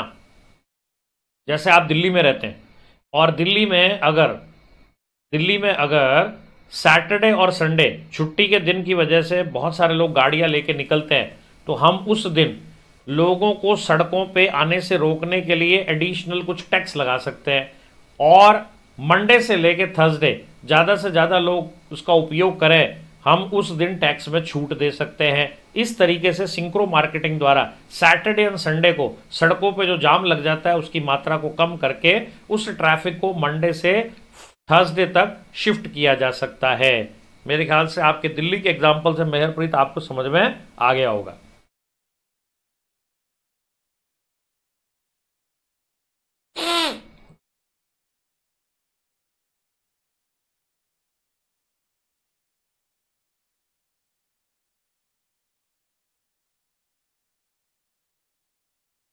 मतलब हम क्या कर रहे हैं? सारे ट्रैफ़िक को सेल्स को हम सब दिनों एक जैसा बना रहे हैं। कुछ दिनों ज़्यादा है, कुछ दिनों कम है तो हम कोशिश कर रहे हैं ज़्यादा वाला शिफ्ट होके कम वाले पे आ जाए। चलिए तो आपको समझ में आ गई ये बात सिंक्रो मार्केटिंग की। अब बात करते हैं अपन बिल्डिंग कोर कॉम्पिटेंस की। Competitors differentiation is one of the main three condition the company can consider having a core competence if the competence is unique and it is difficult for the competitor to imitate तो हमारे को अपनी competence बनानी पड़ेगी unique और difficult बनानी पड़ेगी imitate करने की। तभी लंबे समय तक हम मार्केट में नंबर वन बने रहेंगे। अगर हमारी यूनिकनेस कॉपी हो जाती है, अगर आसानी से कोई हमारी इस यूनिकनेस को कॉपी करके अपना अपना फीचर बना लेता है तो फिर हम उनसे अलग नहीं होंगे, उन जैसे हो जाएँगे। The second condition to be met is customer value हम उन्हें वैल्यू फॉर मनी कितनी देते हैं? And the last condition is application of competence कि आप उसकी चीज़ों को कितने आसानी से अप्लाई करते हो? तीन चीज़ें हमारे पास होनी चाहिए। तो पहली है हमारी यूनिकनेस और डिफ़िकल्टी टू इमिटेट दूसरा कस्टमर को ज़्यादा वैल्यू मिले और तीसरा उसका उपयोग पूरी ऑर्गेनाइजेशन में हर व्यक्ति करे। एप्लीकेशन टू यूज़ ये हमने बताया था।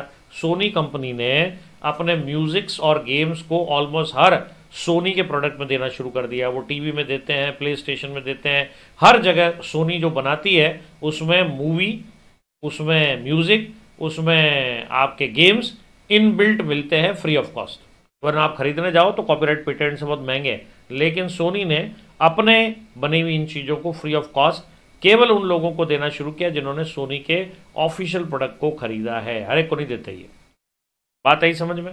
तो तीन चीज़ें हैं कोर कॉम्पिटेंस को बिल्ड करने में। पहला, ऐसी यूनिकनेस लाओ कि जिसको इमिटेट करना मुश्किल हो। दूसरा कस्टमर को ज़्यादा मोर वैल्यू मोर वर्थ दो। और तीसरा एप्लीकेशन ऑफ़ कॉम्पिटेंस होनी चाहिए। उसको हर जगह अप्लाई कर सकें हम। अब आता है how to build the core competence core competence कैसे बनाए? इसके चार क्राइटेरिया हैं.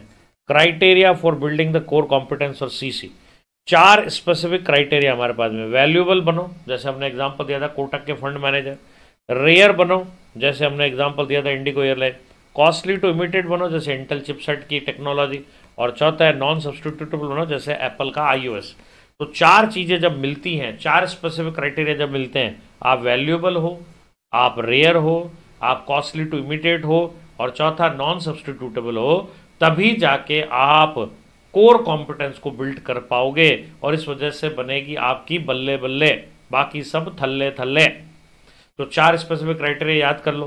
पहला वैल्यूएबल बनो, कोटक फंड मैनेजर रेयर बनो IndiGo airlines costly to imitate Intel chipset और नॉन सब्सटीट्यूटेबल एप्पल आई ये चार चीज़ें आपको दूसरों से अलग करती हैं, और इन चार के होने का मतलब है you have core competence in you which can not be easily copied और इमिटेटेड बाय अदर्स क्योंकि ये सब इतनी अलग है कि इन सबको इमिटेट करना एक साथ मुश्किल है किसी व्यक्ति के लिए।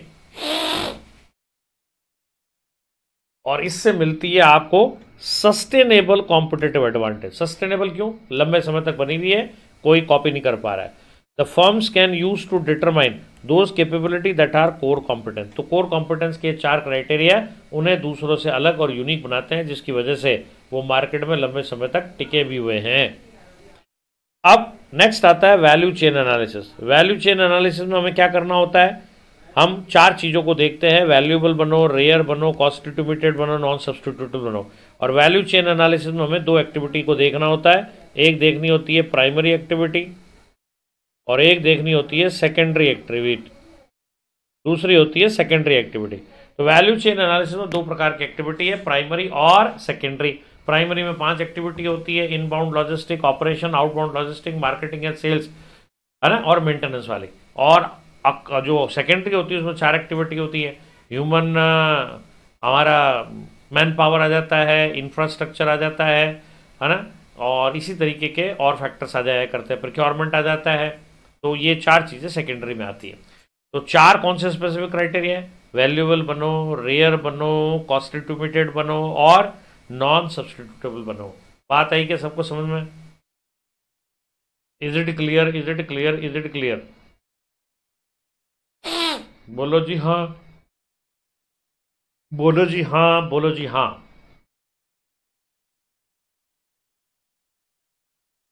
अब यहाँ पे एयरटेल का एग्ज़ाम्पल देना बहुत ज़रूरी है। ज़ीरो कस्टमर कंप्लेंट जो एयरटेल नाम की टेलीकॉम कंपनी है, उसने कहा है कि हम अपनी कोर कॉम्पिटेंस के तौर पे ऐसा एक सिस्टम डेवलप करेंगे कि धीरे धीरे कस्टमर की कंप्लेंट को पहले एंटिसिपेट कर लेंगे।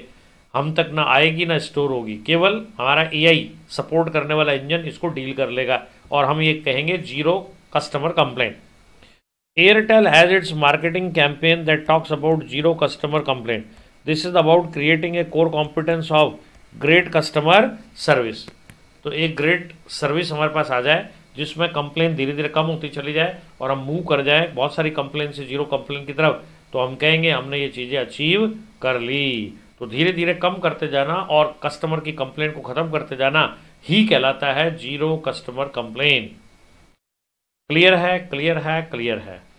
बोलो जी हाँ बोलो जी हाँ बोलो जी हाँ। तमी बोलता नती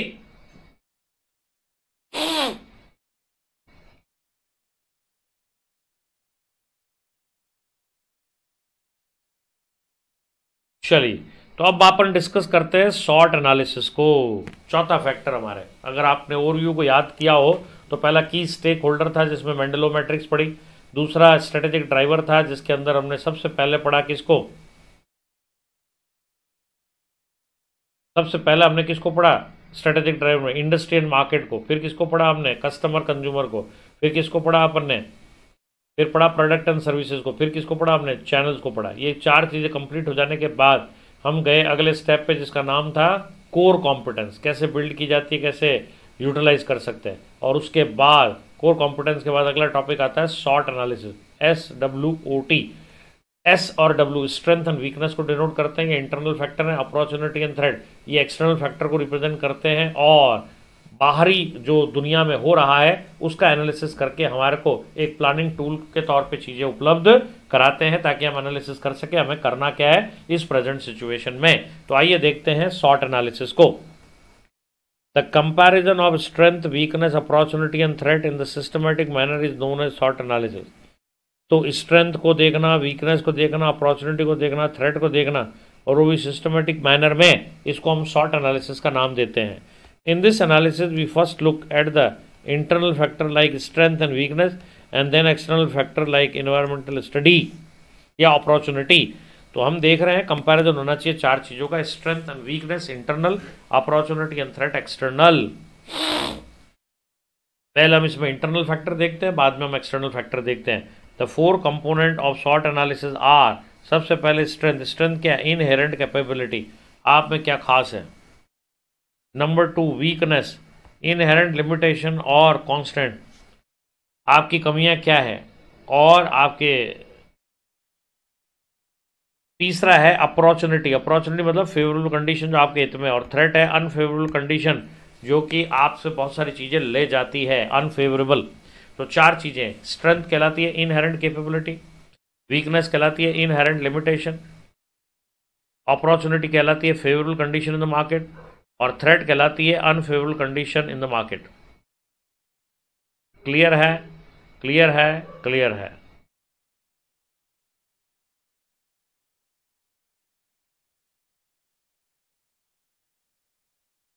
तो आपको समझ में आ गया एस डब्ल्यू ओ टी क्या होता है?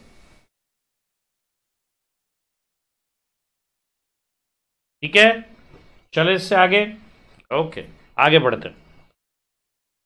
SWOT analysis can be done using four factor चार फैक्टर किए जाते हैं, उनसे अध्ययन होता है। पहला potential resource strength and competitive capability तो हमारे को स्ट्रेंथ देखनी है। Potential resource weakness and competitive definition दूसरा हमें देखना है वीकनेस को जो आप में है। पोटेंशियल कंपनी अपॉर्चुनिटी और चौथी है potential external threat to the company's wellbeing इतनी हमारे सामने थ्रेट है, जिनसे हमें दिक्कत आ सकती है।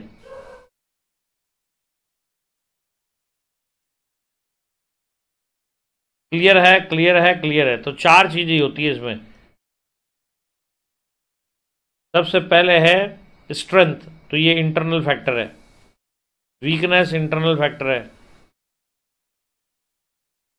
अपॉर्चुनिटी एक्सटर्नल फैक्टर है थ्रेट एक्सटर्नल फैक्टर है क्लियर है क्लियर है क्लियर है। तो इस तरीके से शॉर्ट एनालिसिस के चारों फैक्टर्स को हमें समझना पड़ता है।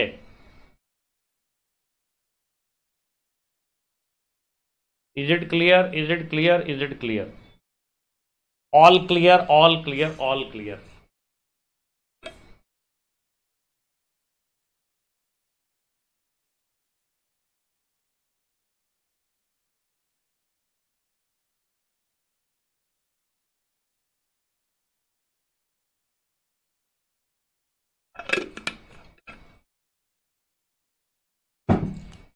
सबसे खास बात इस क्लास की है कि हम इंस्टीट्यूट के मॉड्यूल की एक एक लाइन एक एक शब्द, एक एक कीवर्ड को समझ रहे हैं। मतलब इसको पढ़ने के बाद आपको आई का मॉड्यूल देखने की ज़रूरत नहीं। मॉड्यूल और मॉड्यूल से ज़्यादा चीज़ें हमने इसमें शामिल कर ली हैं। चलिए, आगे बढ़ते हैं। तो हमने इसमें product service channel building core competence और शॉर्ट एनालिसिस देखा।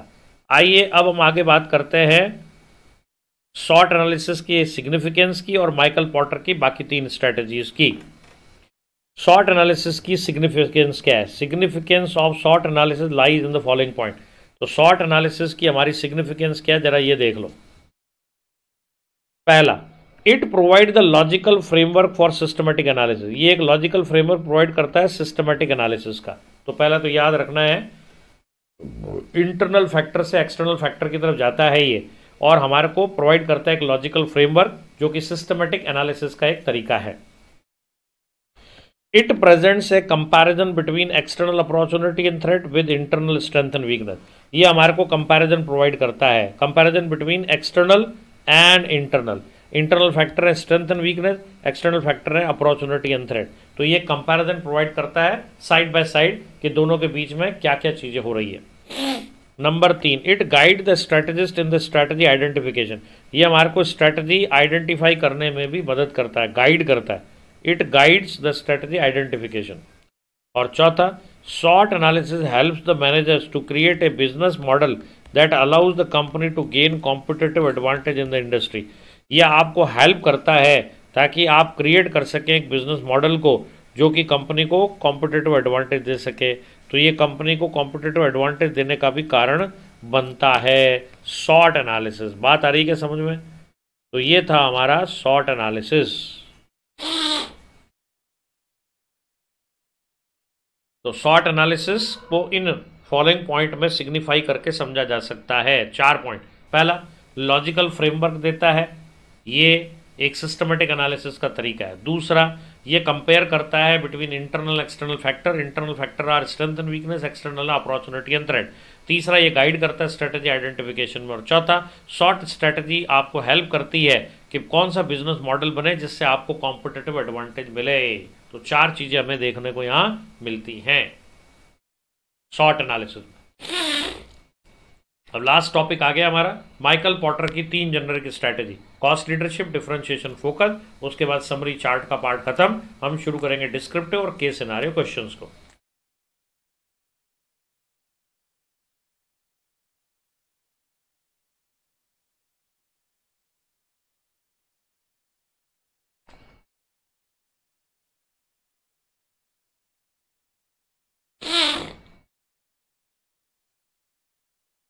चलिए, आगे बढ़ते हैं माइकल पॉटर की तीन जनरिक स्ट्रैटेजीज को। उससे पहले कॉम्पिटेटिव एडवांटेज को अगर आप चाहते हैं, लंबे समय तक सस्टेन करना तो आपको ये तभी मिल सकता है जब आप चार स्थितियों पर कंट्रोल पाएँगे।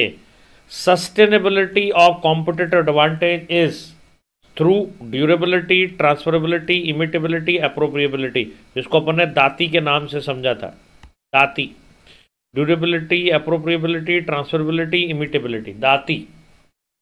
ड्यूरेबिलिटी मतलब कितने लंबे समय तक आप इस कॉम्पिटेटिव एडवांटेज को प्रिजर्व करोगे। जितने दिन तक प्रिजर्व करोगे, उतने दिन तक आप दुनिया से नंबर वन हो, वरना आपको पिछड़ते देर नहीं लगेगी। दूसरा है ट्रांसफरेबिलिटी अगर आपके पास मैन पावर है, जिसकी वजह से आप दुनिया से अलग हो तो ये मैन पावर आपको छोड़ के जैसे ही कॉम्पिटिटर के पास गई, आपकी नंबर वन पोजीशन छिन गई, अब कॉम्पिटिटर के पास होगी। तीसरा इमिटेबिलिटी इमिटेबिलिटी का मतलब होता है कि आप कितनी जल्दी दूसरे के रिसोर्स और कैपेबिलिटी को कॉपी कर सकते हैं। अगर आप आसानी से कॉपी कर सकते हैं तो आप नंबर वन बन जाएँगे कॉम्पिटेटिव एडवांटेज ले लेंगे। लेकिन वहाँ से न तो वो मैन पावर आता है, ना मशीनें आती है, और वो केवल उन्हीं के पास रह जाता है तो फिर वही नंबर वन रहेंगे। आप चाहते हुए भी नहीं बन पाएँगे। और चौथा है अप्रोप्रिएबिलिटी जितने रिसोर्स और कैपेबिलिटीज हमने लगाई हैं, उन सब की एक कॉस्ट होती है, और उनसे सबसे मिलके हमको एक बेनिफिट मिलता है। तो अगर कॉस्ट ज़्यादा और बेनिफिट कम है तो हम कहेंगे कि ऐसा काम हम कर ही क्यों रहे हैं? हम चाहेंगे हम काम तो करें कम से कम और हमें रिटर्न मिले ज़्यादा से ज़्यादा। क्लियर है क्लियर है क्लियर है। अब बात करते हैं माइकल पॉटर की जनरिक स्ट्रेटजीज की। This allow the organisation to gain competitive advantages from three different basis cost leadership सबसे सस्ता बेचो। डिफ्रेंशिएशन कुछ अलग बेचो।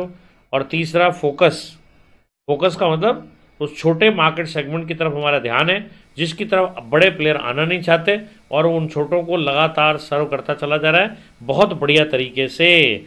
तो अगर सबसे सस्ता बेच रहा है तो कॉस्ट लीडर है। सबसे अलग और यूनिक बेच रहा है, महँगा बेच रहा है प्राइस इनसेंसिटिव मार्केट में है तो वो कहलाएगा हमारा डिफ्रेंशिएशन और अगर छोटे मार्केट सेगमेंट में है और बड़े प्लेयर इस तरफ़ ध्यान नहीं दे रहे हैं तो सर्वाइव करेगा हमारा। कौन हमारा सर्वाइव करेगा? तब फोकस बात आई क्या सबको समझ में? Is it clear is it clear is it clear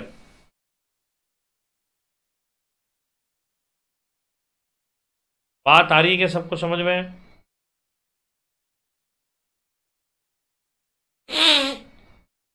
chat box में बताएँ मुझे ज़रा। क्या पूरी बातें समझ में आ रही है जो आपको बताई जा रही है? और याद भी हो रही है? इस चैप्टर में क्या क्या अपन ने पढ़ा? समरी वाला टाइम हो रहा है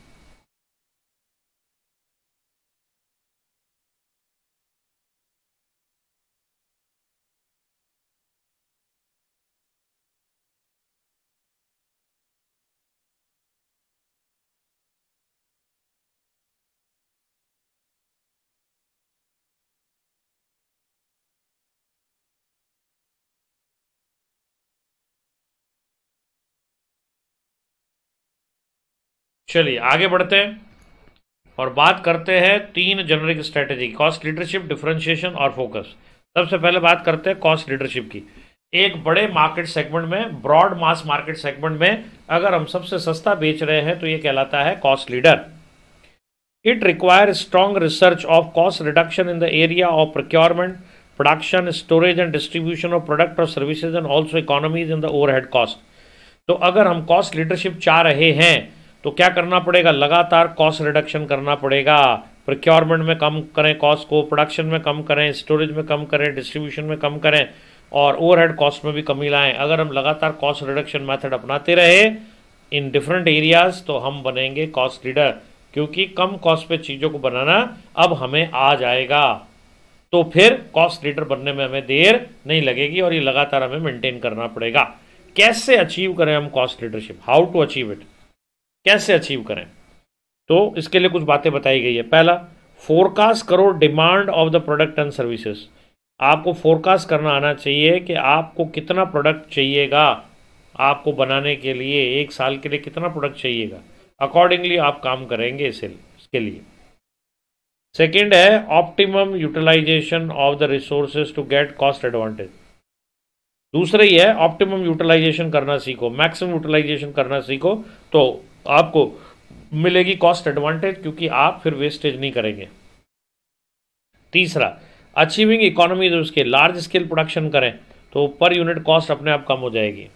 और चौथा स्टैंडर्डाइजेशन ऑफ़ प्रोडक्ट करें तो ऐसे से पर यूनिट कॉस्ट अपने आप कम हो जाएगी वेस्टेज अपने आप कम हो जाएँगे स्टैंडर्डाइजेशन ऑफ़ प्रोडक्ट पांचवा invest in cost saving technologies and try using advance in technology for smart working तो आप कॉस्ट सेविंग टेक्नोलॉजी में अपना पैसा लगाते जाइए, उससे आपको मिलेगा फ़ायदा। And last resistance to differentiation till it becomes essential दूसरी बात है कि डिफ्रेंशिएशन करना तब तक ज़रूरी नहीं होना चाहिए जब तक ऐसा करना आवश्यक न हो जाए। हमारा काम कॉस्ट लीडरशिप से चल रहा है तो उसी को चलाते रहे। मैं मेहप्रीत क्या कह रहे हैं?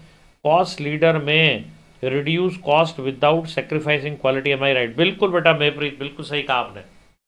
क्वालिटी कॉम्प्रोमाइज नहीं करनी हमारे को। बिना क्वालिटी कॉम्प्रोमाइज किए कॉस्ट को कम करना फीचर्स को ज़्यादा देना ही कॉस्ट लीडरशिप कहलाता है। अगर कॉस्ट लीडर में अपने को बाकी चीज़ें कॉम्प्रोमाइज करनी पड़े तो फिर वो कॉस्ट लीडर नहीं कहलाएगी।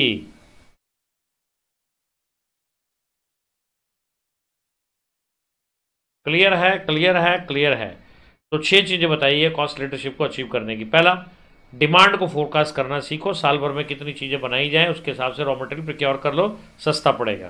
दूसरा optimum utilisation of cost advantage होना चाहिए। तीसरा अचीविंग इकोनॉमीज ऑफ़ स्केल होना चाहिए। चौथा स्टैंडर्ड स्टैंडर्डाइजेशन ऑफ़ प्रोडक्ट होना चाहिए मास लेवल पे। और next invest in cost saving technology. आप कॉस्ट सेविंग टेक्नोलॉजी में पैसा लगाओ ताकि आपकी कॉस्ट को स्मार्ट वर्किंग के माध्यम से कम किया जा सके। और लास्ट में रेजिस्टेंस टू डिफरेंशिएशन तब तक इससे दूर रहो जब तक ऐसा करना आवश्यक ना हो जाए। तो अचीव करने के हमने छह तरीके यहाँ बताए हैं आपको। ओनली सिक्स अब बात आती है इसकी एडवांटेज क्या कॉस्ट लीडर की। अगर आप कॉस्ट लीडर हैं ब्रॉड मास मार्केट में सबसे सस्ता बेच रहे हैं तो आपको पाँचों प्लेयर जो कि किसके हैं हमारे पास में? माइकल पॉटर के पाँच फोर्सेस के मॉडल हैं। उनसे भी दिक्कत नहीं होती है। जैसे राइवलरी से आपको दिक्कत नहीं होती कॉस्ट लीडरशिप में, क्योंकि राइवल आप जितना सस्ता हो नहीं सकता तो फिर उसको जाना ही होगा। नंबर टू बायर्स खरीदार आपके।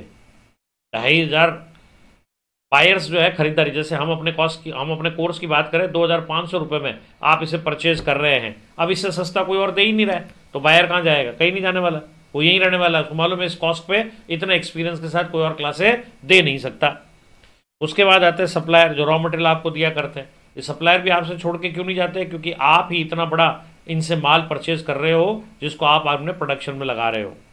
उसके बाद है न्यू एंट्रेंट नया आने वाला। अगर वो देखता है कि इतना मटेरियल प्रोड्यूस हो रहा है रोज़ के रोज़ और रोज़ के रोज़ इसका उपयोग भी किया जा रहा है तो न्यू एंट्रेंट के लिए ये एंट्री बैरियर हो जाता है। वो सोचता है, इसमें आना मेरे लिए समझदारी नहीं है।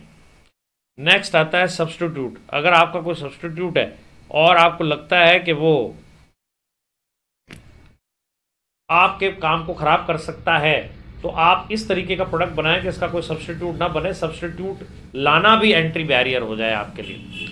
तो ये पाँचों चीज़ें आपके खिलाफ नहीं जाती, आपके पक्ष में जाती है। राइवल आपका कुछ नहीं बिगाड़ सकता। ठीक है? क्योंकि बायर आपसे ही चीज़ें खरीदना चाहता है सप्लायर आपको ही माल देना चाहता है न्यू एंट्रेंट जो है, वो आपसे जुड़ के नई चीज़ों का लाभ लेना चाहता है खुद भी। तो इस तरीके से हम देखते हैं, सभी को over period of time set right कर लिया, करते हैं हम सभी लोग अपने पक्ष में करने के लिए इन पाँचों फैक्टर के माध्यम से कॉस्ट लीडरशिप स्ट्रैटेजी को। नेक्स्ट बात करते हैं डिसएडवांटेज क्या है इसकी?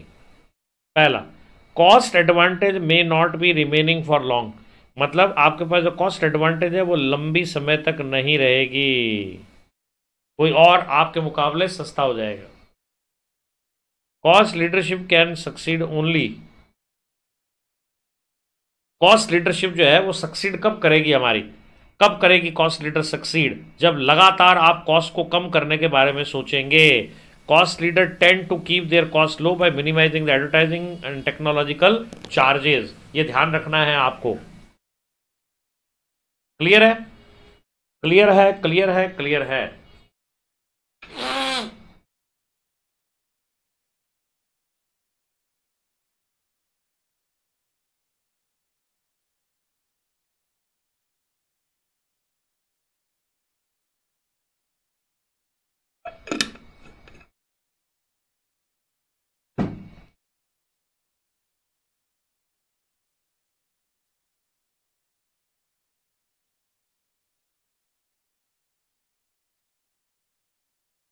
चलिए, आगे बढ़े। आइए लास्ट पेज डिस्कस कर रहे हैं अपन समरी का। अब हमने डिफ्रेंशिएशन और फोकस स्ट्रैटेजी को डिस्कस करना है। एक है डिफ्रेंशिएशन और एक है फोकस तो आइए पहले डिफ्रेंशिएशन के बारे में बात करते हैं हम यहाँ पे। कॉस्ट लीडर के सामने टिके रहने के लिए आपको अपने प्रोडक्ट में इतना अंतर लाना पड़ेगा कि उस अंतर की वजह से लोग आपके प्रोडक्ट को खरीदें और उसके लिए आप यूनिकनेस बनाते हुए प्रीमियम चार्ज कर सकते हो और कॉस्ट लीडर के मुकाबले लोग आपसे खरीदेंगे। जैसे सस्ते फ़ोन तो बहुत आते थे, लेकिन फिर भी एप्पल बिकता है क्योंकि एप्पल में है डिफ्रेंशिएशन यूनिकनेस और हम उसके लिए चार्ज एक्स्ट्रा भी पे करते हैं। मैं प्रीत कह रहे हैं कॉस्ट लीडर में reduce cost without sacrificing quality बिल्कुल बेटा, ये तो हमने बता दिया आपको। Differentiation strategy should be pursued only after a careful study of buyer need and preferences careful study करनी पड़ेगी, लोग चाहते क्या हैं? To determine the feasibility of incorporating one or more differentiating feature into a unique product that features the desired attribute तो हमें desired attribute इसमें लगाने पड़ेंगे लोगों की आवश्यकता के अनुसार। अब यहाँ तीन बेसिस है डिफ्रेंशिएशन के। प्रोडक्ट को आप अलग कर दो। जैसे एप्पल का आईफोन एप्पल का फ़ोन प्राइसिंग आप अलग कर दो एप्पल की प्राइस और ऑर्गेनाइजेशन अलग कर दो ब्रांड नेम एप्पल तो कहीं ना कहीं आप किसी न किसी बेसिस पे चीज़ों को डिफ्रेंशिएट कर सकते हैं। बात आई क्या सबको समझ में? आप कैसे अचीव करेंगे? जैसे आपने कॉस्ट लीडर अचीव की थी, लगातार कॉस्ट को रिड्यूस करते हुए विदाउट सेक्रीफाइसिंग क्वालिटी डिफ्रेंशिएशन कैसे लाएँगे? आइए अब उसको भी समझ लेते हैं। Offer the utility for the customer and match the product. आप उनको ऐसी यूटिलिटी दो जो आपके अलावा कोई और दे नहीं सके और वो यूनिक होनी चाहिए। एलिवेट द परफॉर्मेंस अपनी परफॉर्मेंस को बढ़ाओ, जो कोई आपके अलावा दे नहीं सके। Offer the promise of high quality product and services आप उनको high quality product and service दो, जो आपके अलावा कोई दे नहीं सके। रैपिड प्रोडक्ट इनोवेशन नए नए प्रोडक्ट लाते रहो। Taking steps for enhancing the image and brand value अपनी इमेज को बढ़ाने के लिए प्रयास करो and fixing the product prices based on the unique feature और अपने प्राइस को फीचर के अनुसार रखो, बढ़ाओ या जैसा भी आपको करना है करें। तो ये कुछ तरीके हैं जो हम बताते हैं कैसे आप डिफ्रेंशिएशन स्ट्रैटेजी को फॉलो कर सकते हैं। पहला यूटिलिटी ऑफ़र करो, जो कस्टमर की डिमांड हो वैसी। दूसरा, अपनी परफॉर्मेंस को लगातार एलिवेट करो, बढ़ाते चले जाओ। तीसरा high quality product and services दो। चौथा नए नए प्रोडक्ट लाते रहो रैपिड डेवलपमेंट और पांचवा इमेज और ब्रांड वैल्यू को बढ़ाओ और छठा यूनिक फीचर के आधार पर प्राइसिंग को फिक्स करो। तो ये कुछ तरीके हैं जो आपको डिफ्रेंशिएटिंग स्ट्रैटेजी को लागू करने में मदद करते हैं। क्लियर है क्लियर है क्लियर है। बोलो जी हाँ बोलो जी हाँ बोलो जी हाँ।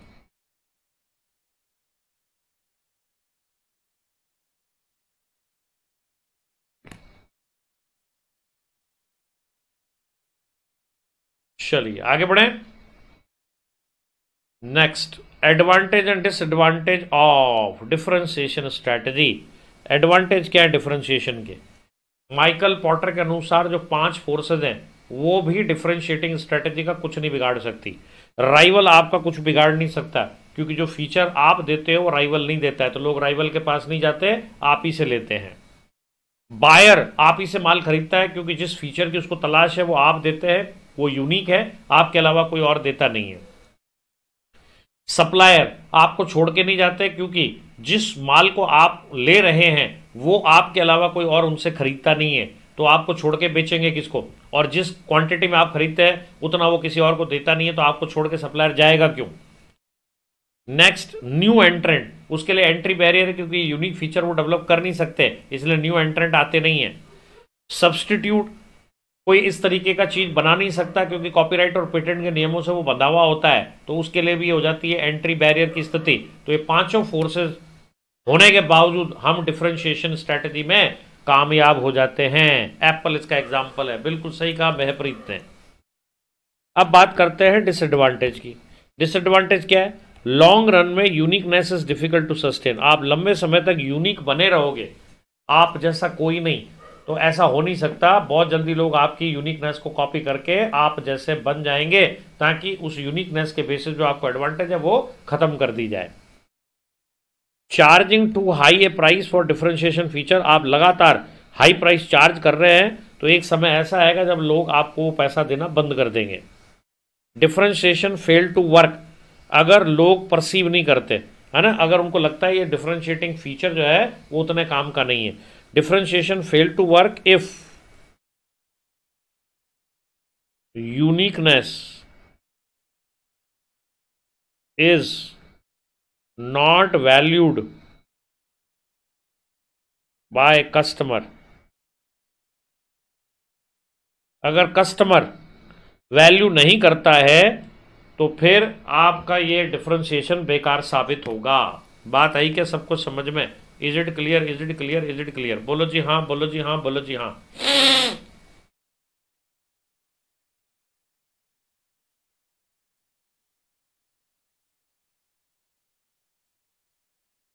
आइए, अब लास्ट टॉपिक की तरफ़ चलते हैं अपन समरी में फोकस स्ट्रैटेजी छोटे मार्केट सेगमेंट के सफिशिएंट साइज़ के, जिसमें अच्छा ग्रोथ पोटेंशियल हो, जिसमें बड़े प्लेयर आना नहीं चाहते, ऐसी स्ट्रैटेजी को कहते हैं फोकस या कंसंट्रेटेड या टारगेट या niche strategy focus strategy are most effective when consumers have distinctive preferences जब उनकी प्रेफरेंसेस डिस्टिंक्टिव है and requirements when rival firms are not attempting to specialise और राइवल फॉर्म्स आना नहीं चाहते इस क्षेत्र में तो सेम टारगेट एरिया में जब नहीं आते हैं वो लोग तो आपको फ़ायदा मिल सकता है। लेकिन अगर बड़े प्लेयर आपके क्षेत्र में आ गए तो फिर आपकी एडवांटेज खत्म हो जाएगी।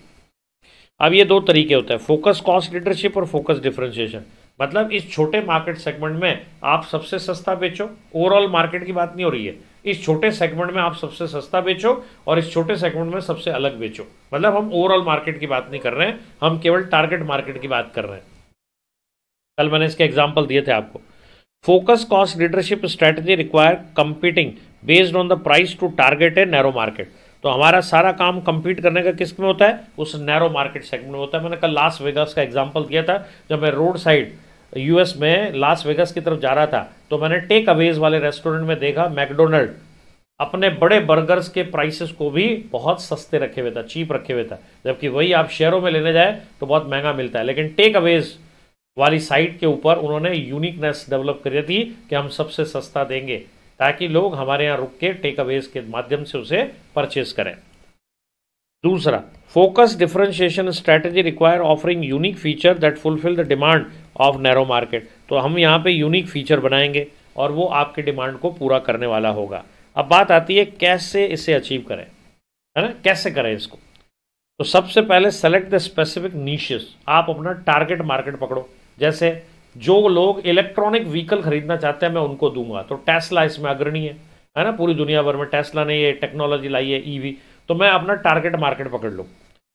क्रिएट द सुपीरियर स्किल अब मैं इसमें अपनी स्किल को बढ़ाऊँ, इस मार्केट के लिए। Generate the high efficiency efficiency बढ़ाओ। डेवलप द इनोवेशन इनोवेशन करो। तो ऐसे करके हम अचीव करेंगे फोकस स्ट्रैटेजी को टारगेट मार्केट स्ट्रैटेजी को नैरो मार्केट स्ट्रैटेजी को कंसंट्रेटेड मार्केट स्ट्रैटेजी को, सब इसी के नाम है। तो फोकस कहो नीच कहो कंसंट्रेटेड कहो, है ना? टारगेट मार्केट स्ट्रैटेजी कहो, एक ही बात क्लियर है क्लियर है क्लियर है। बोलो जी हाँ बोलो जी हाँ बोलो जी हाँ। समझ में आ रही है सभी को बात? क्लियर है? अब हम बात करते हैं फोकस स्ट्रैटेजी की एडवांटेज ऑफ़ फोकस स्ट्रैटेजी तो अब हम बात करेंगे फोकस स्ट्रैटेजी की। फोकस स्ट्रैटेजी की एडवांटेजेस क्या है? Premium prices can be charged by the organisation अगर आप फोकस या टारगेट स्ट्रैटेजी का उपयोग कर रहे हैं और वो भी आप टारगेट कर रहे हैं उस ऑर्गेनाइजेशंस के लिए जहाँ पर इस जैसा यूनिक फीचर कोई और नहीं देता है then you can charge higher जैसे मैंने बताया था फरारी जो आती है स्पोर्ट्स कार में, वही लोग लेते हैं जो स्पोर्ट्स के शौकीन होते हैं। रोलेक्स की लिमिटेड एडिशन वॉचेस वही लोग लेते हैं जो इस तरीके की महँगी वॉचेस के जो है, शौकीन लोग होते हैं तो इसके लिए आप प्रीमियम चार्ज कर सकते हैं। Due to tremendous expertise about the goods and services अगर उस गुड्स एंड सर्विसेज़ को लेके मार्केट में बहुत ज़्यादा क्रेज है तो फिर लोग उस तरीके की चीज़ आपसे लेना पसंद करेंगे। बात आई क्या सबको समझ में? Is it clear is it clear is it clear क्या बात सबको समझ में आ गई है? क्लियर है क्लियर है क्लियर है नेक्स्ट है डिसएडवांटेज ऑफ़ फोकस स्ट्रेटेजी अब हम बात करेंगे इसकी कमी क्या है the firms lacking in the distinctive competence may not be able to pursue the focus strategy अगर आपके पास में डिस्टिंक्टिव कॉम्पिटेंस है ही नहीं है ही नहीं आपको डिस्टिंक्टिव कॉम्पिटेंस तो फिर आप इसे परसू कर ही नहीं सकते फ़ायदा होगा ही नहीं आपको due to the limited demand of product and services cost are high which can cause problems limited demand है आपके प्रोडक्ट की तो फिर आप क्या कर सकते हैं? इसको परसू करने का कोई फ़ायदा नहीं पाएँगे। महप्रीत कह रहा है फोकस कॉस्ट लीडरशिप और फोकस डिफ्रेंशिएशन फोकस मार्केट के दो टाइप है। बिल्कुल आपने सही समझा महप्रीत। ये फोकस के दो टाइप है। फोकस को दो तरीके से इंप्लीमेंट किया जा सकता है। फोकस कॉस्ट लीडरशिप और focus differentiation in the longer run the niche could disappear और taken over by the large competitor अगर बड़े कॉम्पिटिटर ने आपके एरिया में आने का मन बना लिया तो फिर ये लंबे समय तक आपकी फोकस स्ट्रेटजी काम नहीं करेगी, क्योंकि बड़े लोग इसमें आ गए तो अभी छोटा बड़ा मार्केट सब एक हो गया। अब आपकी टारगेट मार्केटिंग काम नहीं करेगी, बड़े प्लेयर अपने हिसाब से इसे चलाएँगे। फिर हमने एक और स्ट्रेटजी पढ़ी थी, हालाँकि वो माइकल पॉटर ने हमें नहीं दी है, पर एक स्ट्रेटजी है जो इन सब स्ट्रेटजी से थोड़ा थोड़ा लेके कुछ बनती है। उसको कहते हैं बेस्ट कॉस्ट प्रोवाइडर इसको कहते हैं वैल्यू फॉर मनी मतलब ये सबसे सस्ती भी होगी। इसमें यूनिकनेस सबसे भरपूर होगी। और ये छोटे और बड़े मार्केट सबकी डिमांड को पूरी करेगी। इसको कहते हैं अपन best cost provider through offering products at lower price than what is being offered by the rival for the product with comparable quality and features और charging the similar price as by the rival for the product with much higher quality and better features तो दो ही तरीके होते हैं best cost provider बनने के। या तो सबके बराबर प्राइस ले लो और फीचर ज़्यादा दे दो। प्राइस सबके बराबर है और फीचर ज़्यादा है तो मैं बेस्ट कॉस्ट हो गया। या क्वालिटी और फीचर सबके बराबर दे दो प्राइस कम चार्ज कर लो। फीचर सबके बराबर दे दो, प्राइस कम चार्ज कर लो तो भी आप बेस्ट कॉस्ट प्रोवाइडर हो गए। तो बेस्ट कॉस्ट प्रोवाइडर होने के दो तरीके हुआ करते हैं। कौन कौन से दो तरीके हुआ करते हैं बेस्ट कॉस्ट प्रोवाइडर के? पहला होता है कि आप अगर सिमिलर प्राइसेस रख रहे हैं प्रोडक्ट की कंपीटिंग के तो आप अप स्केल फीचर दे दीजिए। फीचर्स बढ़ा दीजिए तो आप बेस्ट कॉस्ट हो जाएँगे। और दूसरा तरीका होता है, सबके फीचर अगर बराबर हैं तो आप प्राइस को कम कर दीजिए, अंडर प्राइस कर दीजिए कॉम्पिटिटर और राइवल के मुकाबले तो आप कहलाएँगे बेस्ट कॉस्ट प्रोवाइडर तो मेरे ख्याल से बेस्ट कॉस्ट प्रोवाइडर की स्ट्रैटेजी आपको समझ में आई होगी। जैसे हम लोग आपको बहुत ही कम प्राइस पे, बहुत ही अफोर्डेबल जो है वो क्लासेस ऑफ़र कर रहे हैं। 2500 के प्राइस पे अगर आपको 33 चौंतीस साल के एक्सपीरियंस के साथ ये क्लासें मिल रही हैं, जहाँ टीचर आपका एग्जामिनर पेपर सेटर रहा हुआ है, जो आपके वर्चुअल टेस्ट लेके आपके प्रेजेंटेशन की स्किल को सुधारता है तो ये प्राइसेस में भी कम है। फीचरल में भी बहुत सारे एडवांसेज है जो कोई और टीचर इस सब्जेक्ट का नहीं दे पा रहा है और साथ में छोटे से बड़े हर मार्केट सेगमेंट को ध्यान रख पा रहा है। तो बत्रा सर की ये क्लासेस आपके लिए क्या है? बेस्ट कॉस्ट प्रोवाइडर कहलाएँगी। क्या कहलाएँगी आपके लिए? बेस्ट कॉस्ट प्रोवाइडर स्ट्रेटेजी क्योंकि कॉस्ट सबसे कम है सब्जेक्ट के लिए। बत्रा सर की 2500 ओनली है ना? और फीचरल एडवांसेज इतने ज़्यादा है। एक्सपीरियंस मिल रहा है।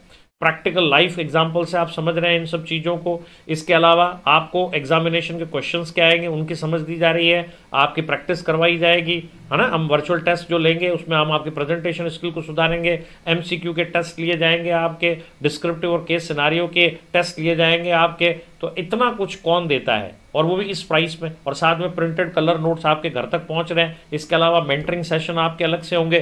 तो इतनी सारी फीचरल एडवांसेस इस प्राइस पे कोई और नहीं दे रहा है। So this is the best product you have और इसीलिए इसका नाम क्या रखा है हमने? बेस्ट कॉस्ट प्रोवाइडर स्ट्रेटजी तो मेरे ख्याल से आप सबको अब समझ में आ गया होगा, हमने पूरे यूनिट की एक तरीके से समरी कर ली है है ना? चैप्टर नंबर तीन strategic management new course paper number six भी आपने अच्छे से कर लिया। हम पढ़ रहे हैं स्ट्रेटेजिक एनालिसिस इंटरनल एनवायरनमेंट की स्टडी तो होप करता हूँ आपको अच्छे से समझ में आया होगा। आइए, बिना समय गंवाए हुए समरी चार्ट्स को भी कर लेते हैं। आइए। तो आइए शुरू करते हैं समेरी समेरी लाल लाल समेरी बिना समय गंवाए हुए।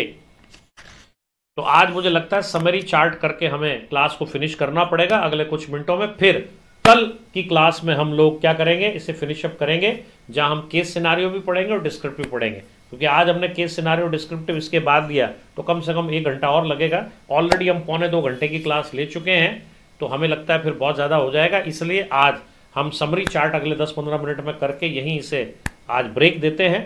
कल जब हम वापस से लौटेंगे सेम टाइम पे, या आपको अनाउंस कर दिया जाएगा अनाउंसमेंट वाले सेक्शन में, हमारे ब्रॉडकास्ट के ग्रुप में, कि हम कितने बजे इस क्लास को लेने जा रहे हैं तो कल एक सवा घंटे की क्लास हम लेंगे, जिसमें हम केस सिनारियों के क्वेश्चन आपको करवा देंगे, और साथ में डिस्क्रिप्टिव क्वेश्चन भी करवा देंगे।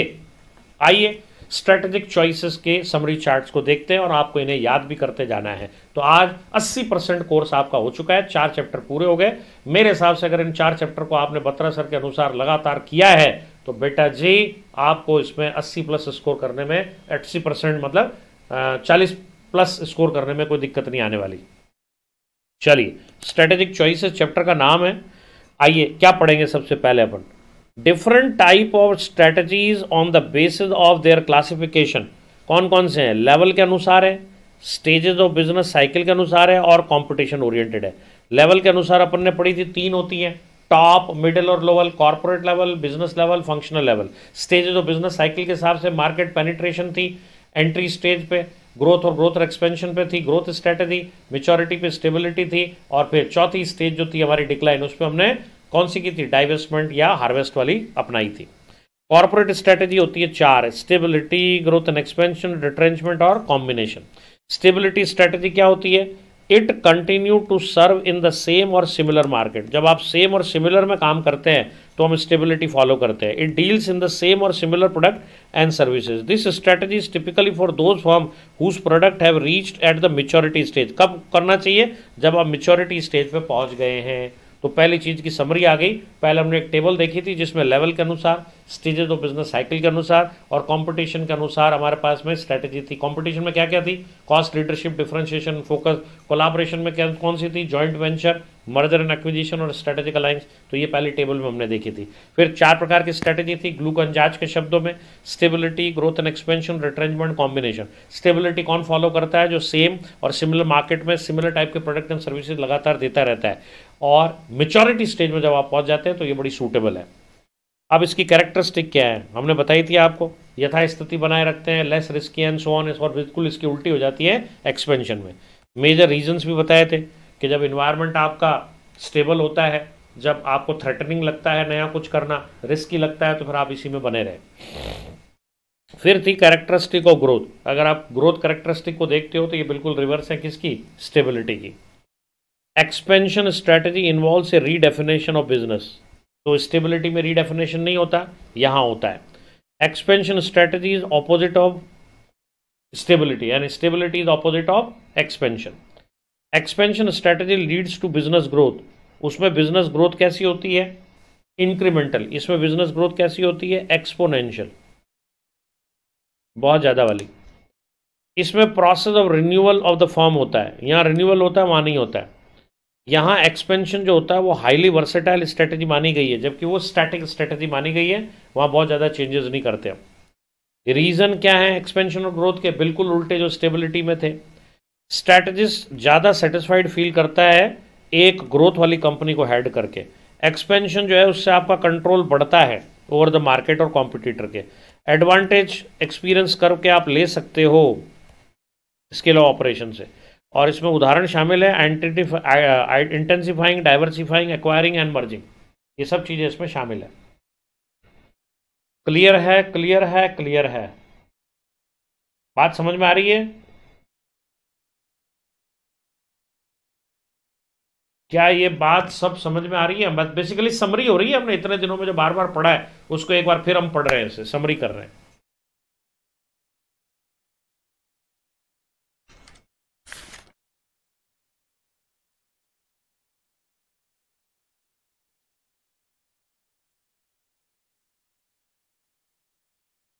अब बात करते हैं टाइप ऑफ़ ग्रोथ स्ट्रेटजी की। वो होती है इंटरनल ग्रोथ और एक्सटर्नल तो एक होती है इंटरनल एक होती है एक्सटर्नल जो इंटरनल होती है, उसको अपन क्या कहते हैं? इंटेंसिफिकेशन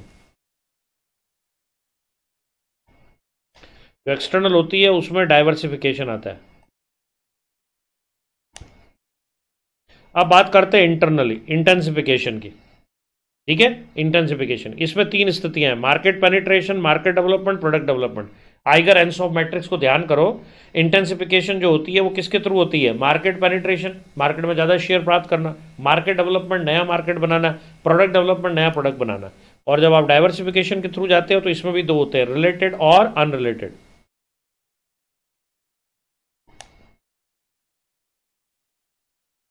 एक को कंसेंट्रिक कहते हैं, एक को कॉन्ग्लोरोमेट कहते हैं। कंसेंट्रिक डाइवर्सिफिकेशन रिलेटेड है कॉन्ग्लोरोमेट अनरिलेटेड है। कंसेंट्रिक में क्या क्या होता है? वर्टिकल वर्टिकल में दो होते हैं बैकवर्ड एंड फॉरवर्ड हॉरिजॉन्टल में होता है एक्विजिशन एक्विजिशन ऑफ़ कॉम्पिटिटर हम अपने इमीडिएट कॉम्पिटिटर को अक्वायर कर जाते हैं. कॉन्ग्लोरोमेट जो होता है, वो क्या करता है? डिसजॉइंट होता है. अनरिलेटेड होता है एग्जिस्टिंग फ़ील्ड से. तीसरा तरीका इनोवेशन से था. है ना? इनोवेशन से क्या करते हैं आप? कॉम्प्लेक्स प्रॉब्लम को सॉल्व करते हैं प्रोडक्टिविटी बढ़ाया करते हैं और आपको मिलती है कॉम्पिटेटिव एडवांटेज ग्रोथ स्ट्रेटेजी में। क्या ये बात आपको समझ में आई है? जो बत्रा सर ने अभी अभी बताई है। इसके बाद एक्सटर्नल ग्रोथ स्ट्रेटेजी की बात करते हैं, जिसमें एक्सपेंशन होता है through merger and acquisition merger चार प्रकार के हैं हॉरिजॉन्टल मर्जर वर्टिकल मर्जर को जनरिक और कॉन्ग्लोरोमेट को जनरिक को कंसेंट्रिक भी कह सकते हैं। एग्ज़ाम्पल हमने दिए थे हॉरिजेंटल में Brooke Bond Lipton India vertical में था कि हम इंक बनाने वाली कंपनी को अक्वायर कर लें, है ना? या स्टोर वाली कंपनी को अक्वायर कर लें। हमने इसमें भी एग्ज़ाम्पल दिया था। S S bathroom furnishing fitting जो है, वो मर्ज हो गई किसके साथ में? एशियन पेंट के साथ। को जनरिक में पिजन ब्रांड मर्ज होगी सैमसंग के साथ में। कॉन्ग्लोरमेंट में बताया था हमने टीवी एटीन ग्रुप मर्ज हो गया आरआईएल के साथ में। एक्सपेंशन थ्रू स्ट्रेटेजिक अलायंस बनाया था कि दो कंपनियाँ अपनी अपनी एंटिटी बनाए रखते हुए एक स्ट्रेटेजिक ऑब्जेक्टिव को पूरा करने के लिए लॉन्ग टर्म एग्रीमेंट में बनती हैं और मिलकर काम करती हैं उस ऑब्जेक्टिव के लिए। इसका एडवांटेज क्या होता है? ऑर्गेनाइजेशनल बेनिफिट है, हम एक दूसरे से सीखते हैं। इकोनॉमिक बेनिफिट है large scale of scale of economy में काम करते हैं। स्ट्रेटेजिक बेनिफिट है कि मार्केट कब्जे कर लेते हैं क्योंकि हम अपने कॉम्पिटिटर के साथ कंपीट करने के बजाय कोलाबरेट करते हुए मार्केट पे कब्जा कर रहे हैं। और पॉलिटिकली बेनिफिट होता है कि किसी देश में अगर आपकी एंट्री नहीं हो रही है तो लोकल प्लेयर को साथ स्ट्रेटेजिक अलायंस में लेते हुए वहाँ मार्केट में एंट्री कर सकते हैं। मैंने उदाहरण दिया था, अमेरिका में रनबैक्सी को एंट्री नहीं मिल रही थी तो उसने एक अमेरिकन फॉर्म दाइची के साथ स्ट्रेटेजिक अलायंस किया और कैंसर की दवाइयाँ जो उन्होंने बनाई थी उस समय, वो लॉन्च कर दी। अमेरिकन मार्केट के हिसाब से वो बड़ी सस्ती थी, इसलिए खूब चली। तो अगर रेनबैक्सी अपना लाइसेंस लेने की प्रक्रिया में पड़ता तो शायद ये कभी नहीं हो पाता। उसने पोलिटिकली स्ट्रेटेजिक अलायंस बना के ये फ़ायदा लिया। तो क्या ये पहला पेज आपको समझ में आया है? क्या ये पहला पेज आपको समझ में आया है? बताइए। मतलब पूरा का पूरा चैप्टर हमारे सामने फिर से खुल रहा है, रिवाइज हो रहा है। में बहुत अच्छे समरी नोट्स बने हैं। अगर आप एक समरी नोट्स को बार बार देखते चले जाओगे तो पूरा चैप्टर दिमाग में बैठ जाएगा, जहन में बैठ जाएगा। और हमारे इन क्लासेस को, क्योंकि अनलिमिटेड है आपके पास एग्ज़ाम टाइम तो आप इसको 1.5x 1.75x 2x की स्पीड पे भी देख के इसे वापस से रिवाइज कर सकते हो कम समय में। क्लियर है? चलें आगे। सेकंड पेज आ गया हमारा, जिसमें स्ट्रेटेजिक एग्जिट्स थे। पहले में ब्रॉड स्ट्रेटेजी पढ़ी अपन ने। चार stability growth expansion retrenchment combination अब हम स्ट्रेटेजिक एग्जिट पढ़ लेते हैं। बाहर आने के तरीके। It is followed when organization substantially reduces the scope of activity ठीक है? आप जब स्कोप ऑफ़ एक्टिविटी रिड्यूस करते हो तो स्ट्रेटेजी एग्जिट की ज़रूरत पड़ती है। बाहर निकलने की ज़रूरत पड़ती है। उसमें सबसे पहला है टर्न अराउंड दूसरा है डाइवेस्टमेंट और तीसरा है लिक्विडेशन टर्न अराउंड में एक्शन प्लान क्या होता है? पाँच स्टेज का होता है। स्टेज नंबर वन पे assessment of current problem problem क्या है? Stage number two analyze the situation and develop a plan stage three होता है implement the emergency action plan stage four होता है रीस्ट्रक्चर करना स्टेज पाँच होता है रिटर्निंग टू नॉर्मल तो पहला स्टेज हमारा जो होता है, वो है assessment of problem stage two जो होता है, वो होता है analyze the situation stage three जो होता है, वो है इमरजेंसी प्लान को इम्प्लीमेंट करना. स्टेज फोर जो है, वो रीस्ट्रक्चर करने से है. स्टेज पाँच जो है, वो रिटर्निंग टू नॉर्मल है. तो पाँच स्टेजेस का हमारा एक्शन प्लान होता है। मैंने आपको रॉयल इनफील्ड बुलेट और बाटा दोनों के एग्ज़ाम्पल से समझाया था। एक्शन प्लान और टर्न अराउंड पाँच स्टेजेस का। ये इंपॉर्टेंट क्वेश्चन है, पूछा जा सकता है। इंपॉर्टेंट एलिमेंट क्या है टर्न अराउंड के? अगर मिसमैनेजमेंट है तो आप चेंज करो टॉप मैनेजमेंट को। अगर आपके बारे में मार्केट में अच्छी बातें नहीं है, आपकी क्रेडिबिलिटी खराब हो गई तो क्रेडिबिलिटी बिल्डिंग एक्शन बनाओ। न्यूट्रलाइज करो एक्सटर्नल प्रेशर को, कोई पे ऑफ़ एक्टिविटी करो ताकि लोग आपके पास बने रहें छोड़ छोड़ के नहीं जाएँ। कॉस्ट रिडक्शन करो, नया रेवेन्यू जनरेशन के मेथड लाओ एसेट को लिक्विडेट करके कैश जनरेट करो और बेटर इंटरनल कोऑर्डिनेशन बनाओ ताकि टर्न अराउंड करना आपके लिए आसान हो जाए। टर्न अराउंड करना आपके लिए आसान हो जाए। और अगर टर्न अराउंड करने की कोशिश की और वो अनसक्सेसफुल रहा तो आपको डाइवेस्टमेंट अपनाना पड़ेगा, एक पोर्शन को लिक्विडेट करना पड़ेगा सेल करना पड़ेगा। तो divestment strategy involve the sale और लिक्विडेशन ऑफ़ ए पोर्शन तो जब आप सेल और लिक्विडेशन ऑफ़ ए पोर्शन करते हैं बिज़नेस का मेजर डिवीज़न और एस का तो वो कहलाता है डाइवेस्टमेंट मतलब सेल करना, एक पोर्शन का. फिर आए थे हमारे सामने स्ट्रेटेजिक ऑप्शंस है ना? पोर्टफोलियो एनालिसिस मेथड के. तो उसमें हमने सबसे पहले एनसॉफ मैट्रिक्स को पढ़ा था. है ना? एनसॉफ के बाद हमने एडीएल को पढ़ा था. फिर हमने बीसीजी को पढ़ा था, फिर हमने जीई को पढ़ा था। तो हम आ गए स्ट्रेटेजिक ऑप्शंस की तरफ़। एनसॉफ मार्केट ग्रोथ मैट्रिक्स है। एनसॉफ मैट्रिक्स कैसी है? Mark product market growth matrix है। ये डेवलप की गई थी आइगर एनसॉफ द्वारा। ये हेल्पफुल टूल है बिज़नेस के लिए। प्रोडक्ट और मार्केट कौन सा अपनाना चाहिए, इसकी जानकारी देने के लिए। ये एक टू डायमेंशन टूल है, जिसमें हॉरिजॉन्टल एक्सेस प्रोडक्ट को बताती है, जो एग्जिस्टिंग और न्यू होता है। Vertical axis market growth rate को बताती है, जो न्यू और होता है। लिमिटेशन क्या है यहाँ पे? Limitation of BCG can be overcome using the Ansoff matrix है ना? ये कर सकते हैं। फोर पार्ट्स में होती है एंस ऑफ़ मैट्रिक्स को जो बताए गए यहाँ पे। पहला है मार्केट पेनिट्रेशन फिर है मार्केट डेवलपमेंट फिर है प्रोडक्ट डेवलपमेंट फिर है डाइवर्सिफिकेशन मार्केट डेवलपमेंट का मतलब होता है, ये वो ग्रोथ स्ट्रेटजी है जो कि सेल करती है एग्जिस्टिंग प्रोडक्ट को एग्जिस्टिंग मार्केट में। सेल करती है ग्रोथ मैट्रिक्स है ग्रोथ स्ट्रेटजी है सेल करती है एग्जिस्टिंग प्रोडक्ट को एग्जिस्टिंग मार्केट में। मार्केट डेवलपमेंट का मतलब ऐसी ग्रोथ स्ट्रेटजी जहाँ बिज़नेस सेल करता है एग्जिस्टिंग प्रोडक्ट को न्यू मार्केट में existing product into the new market product development का मतलब ऐसी ग्रोथ स्ट्रेटजी जो क्या करता है ऑफ़र करता है मॉडिफाइड और new product to the current market और डाइवर्सिफिकेशन का मतलब ऐसी ग्रोथ स्ट्रेटजी जहाँ बिज़नेस मार्केट करता है new product into the new market या तो हम एक्वायर करके करेंगे, या हम कुछ अलग तरीके से इसको करने की कोशिश करेंगे। तो दो तरीके हमारे पास एग्जिस्ट करते हैं इसमें। या तो हम रिलेटेड फ़ील्ड में करें, या हम इसको अनरिलेटेड फ़ील्ड में करें। तो आइगर एंड ने चार ऑप्शन हमें दिए हैं। Market penetration market development product development और डाइवर्सिफिकेशन बात आई सबको समझ में? तो मेरे ख्याल से ये दूसरा पेज भी सबको क्लियर हो गया। कोई डाउट है इसको समझने में? Is it clear is it clear is it clear बोलो जी हाँ बोलो जी हाँ बोलो जी हाँ।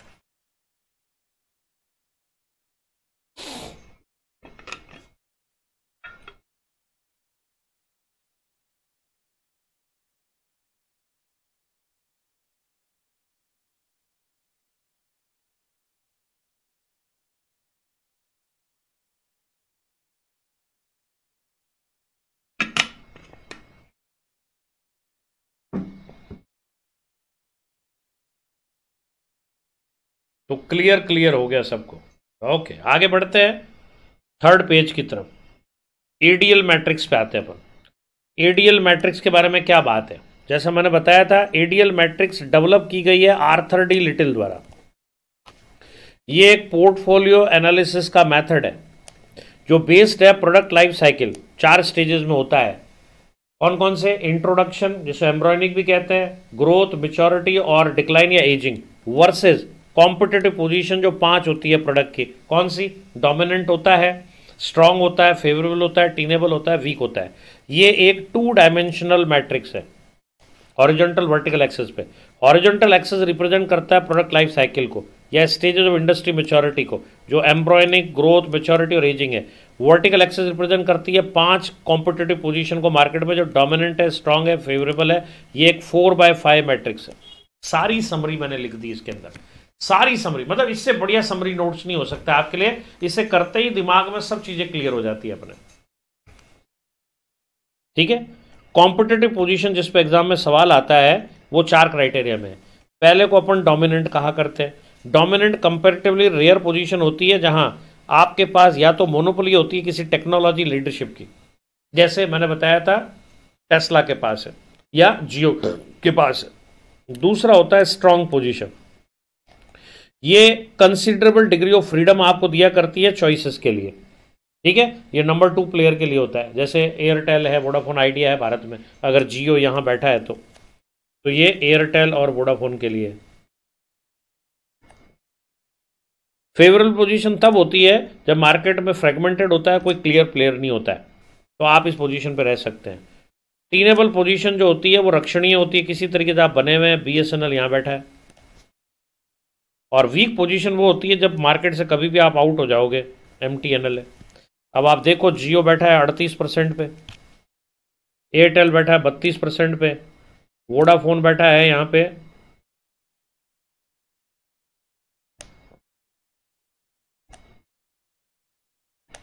फेवरेबल बैठा है वोडाफोन आइडिया बीस परसेंट पे बी एस एन एल बैठा है यहाँ पे टीनेबल आठ परसेंट पे और ये बैठा है लेस देन वन परसेंट पे। तो वीक पोजीशन है। इंप्रूव नहीं किया तो मार्केट से ही आउट हो जाएगा ये। उसके बाद हमने किया था बॉस्टन कंसल्टिंग ग्रुप मैट्रिक्स ये आज हमने की है ग्रोथ शेयर की। ये भी पोर्टफोलियो एनालिसिस का एक मेथड है। ये सिंपलेस्ट तरीका है। मार्केट ग्रोथ और मार्केट शेयर के बीच में है। इसे काउ एंड डॉग मेटाफोर भी कहा जाता है। बेसिकली ये भी टू डायमेंशनल मैट्रिक्स है। जहाँ वर्टिकल एक्सेस रिप्रेजेंट करती है मार्केट ग्रोथ को हाई और लो स्टेज में। हॉरिजॉन्टल एक्सेस रिप्रेजेंट करती है मार्केट शेयर को हाई और लो की स्थिति में। चार डिफरेंट पोजीशन बनती है बीसीजी में। Star, cash cow, question mark and dog. Star वो प्रोडक्ट होते हैं या वो एसबीयू होते हैं, मेन बिज़नेस होते हैं, जो रैपिडली ग्रो कर रहे हैं। हाई मार्केट ग्रोथ में हाई मार्केट शेयर पोजीशन पे हैं। तो यहाँ हैवी इन्वेस्टमेंट करके इसे बनाए रखना चाहिए। तो यहाँ बिल्ड करनी। पोजीशन क्या करेंगे अपन? B U I L D build करेंगे। कैश काउ जो होती है वो लो ग्रोथ, लेकिन हाई मार्केट शेयर पोजीशन होती है। ये इनफ कैश जनरेट करते हैं और उनकी कॉस्ट लो होती है। ये वेल स्टेब्लिश सक्सेसफुल बिजनेसेस होते हैं तो यहाँ लेस इन्वेस्टमेंट चाहिए ना मेंटेन करने के लिए तो इनको हम होल्ड करेंगे, बने रहेंगे इसमें। क्वेश्चन मार्क जो होती है वो low market share and high market growth है। मार्केट में ग्रोथ बहुत है, लेकिन मेरे पास शेयर नहीं है। तो मैं बी एस एन एल हूँ। इसको हम कई बार प्रॉब्लम चिल्ड्रन या वाइल्ड कैट कहते हैं। इनमें लॉस्ट ऑफ़ कैश की ज़रूरत पड़ती है, वरना हमें कैश ट्रैप में फंस जाएँगे। तो यहाँ पे क्या करेंगे? बिल्ड होल्ड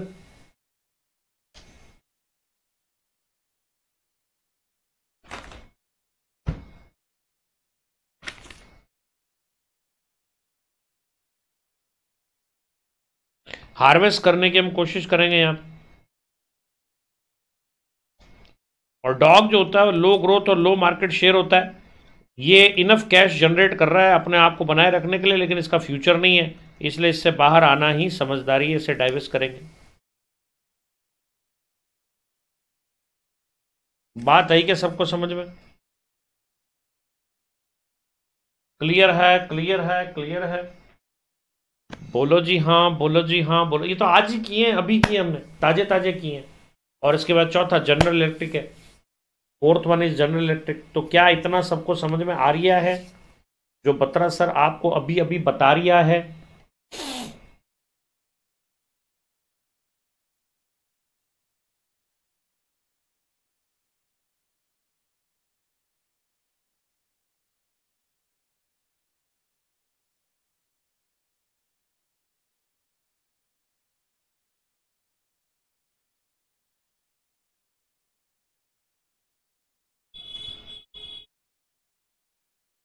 चलिए। तो आइए, चार स्ट्रेटजी जो बीसीजी में यूज़ होते हैं, उनके बारे में बात कर लेते हैं। बिल्ड करना होल्ड करना हार्वेस्ट करना डाइवेस्ट करना। मैंने भी ये चार बताई अभी आपको। यहाँ बिल्ड करने का मतलब ऑब्जेक्टिव क्या है? To increase the market share in star position तो हम बिल्ड कब करेंगे? जब स्टार होगा। होल्ड में ऑब्जेक्टिव क्या है? To preserve the market share in cash cow position तो कैश काउ में हम होल्ड करेंगे। हार्वेस्ट में ऑब्जेक्टिव क्या होता है? Increase the short term cash flow in question mark position और डाइवेस्ट में ऑब्जेक्टिव क्या होता है? टू सेल और liquidate in the dark position तो बिल्ड स्टार में करेंगे। स्टार में बिल्ड करते हैं। कैश काउ में होल्ड करते हैं। क्वेश्चन मार्क या प्रॉब्लम चिल्ड्रन में हार्वेस्ट करते हैं। और डार्क पोजीशन में हम डाइवेस्ट करते हैं। अभी हमने पिछले पेज पे इसी को डिस्कस किया था। अब आ जाओ चौथे मॉडल पे जिसका नाम है general electric general electric model जो है, वो डेवलप किया गया है by G in assistance with McKinsey firm तो जी मॉडल जो है हमारा, वो डेवलप किया गया है जी और मिकेंजी ने मिलके। ये सिमिलर है बीसीजी के। ग्रोथ शेयर मैट्रिक्स डिफरेंस है इसमें और बीसीजी में कि मार्केट अट्रैक्टिवनेस ने रिप्लेस कर दिया मार्केट ग्रोथ रेट को और broad range of market rate जो थी हाई मीडियम और लो आ गई है यहाँ पे। In place of market growth जो केवल हाई और लो थी। ये एक तीन बाय तीन की मैट्रिक्स है जिसकी ऑरिजेंटल एक्सेस रिप्रेजेंट करती है मार्केट शेयर को, जिसे बिज़नेस पोजिशन भी कहते हैं या बिज़नेस स्ट्रेंथ कहते हैं हाई मीडियम लो या स्ट्रॉन्ग फेवरेबल और वीक भी कहा जाता है। और यहाँ वर्टिकल एक्सेस रिप्रेजेंट करता है हाई मीडियम लो को। वर्टिकल एक्सेस रिप्रेजेंट करती है मार्केट अट्रैक्टिवनेस को, हॉरिजॉन्टल रिप्रेजेंट करती है बिज़नेस स्ट्रेंथ को इंडस्ट्री में। ये हमने बताया आपको। यहाँ मार्केट अट्रैक्टिवनेस रिप्रेजेंट करती है साइज़ ऑफ़ द मार्केट को ग्रोथ रेट को इंडस्ट्री की प्रॉफिटेबिलिटी को कॉम्पिटेटिव इलेवन प्ले इलेवन जो फैक्टर्स हैं इसमें, दोनों में इलेवन इलेवन है। अवेलेबिलिटी ऑफ़ टेक्नोलॉजी को ओवरऑल रिस्क को अपॉर्चुनिटी को डिमांड एंड सप्लाई को सेगमेंटेशन को, बड़ा सेगमेंट होना चाहिए और डिस्ट्रीब्यूशन स्ट्रक्चर को। वहीं बिज़नेस स्ट्रेंथ जो होती है हमारी, वो मेजर की जाती है मार्केट शेयर से, मार्केट ग्रोथ रेट से प्रॉफिट मार्जिन से डिस्ट्रीब्यूशन एफिशिएंसी से ब्रांड इमेज से ability to compete on price customer loyalty production capacity technological relative cost position management calibre से। ये अपन करके आए। तो this completes our chapter number four तो मेरे ख्याल से आपको रिवाइज करने में ज़्यादा दिक्कत नहीं होगी। अगर आपने ढंग से बत्रा सर के पास बैठ के चैप्टर्स को कॉन्सेप्ट के लेवल पे समझाए तो मेरे ख्याल से आपके लिए रिवीजन तो बिल्कुल बच्चों का खेल हो जाएगा। बताओ मुझे क्या वाकई ये बच्चों का खेल लग रहा है कि नहीं लग रहा है? रिवीजन इज़ बच्चों का खेल। सब चीज़ें दिमाग में आ रही है।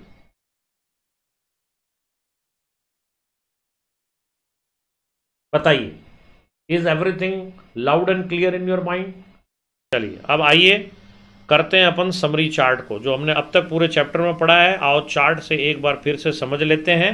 Before coming to the last portion case और डिस्क्रिप्टिव क्वेश्चन के आंसर्स को।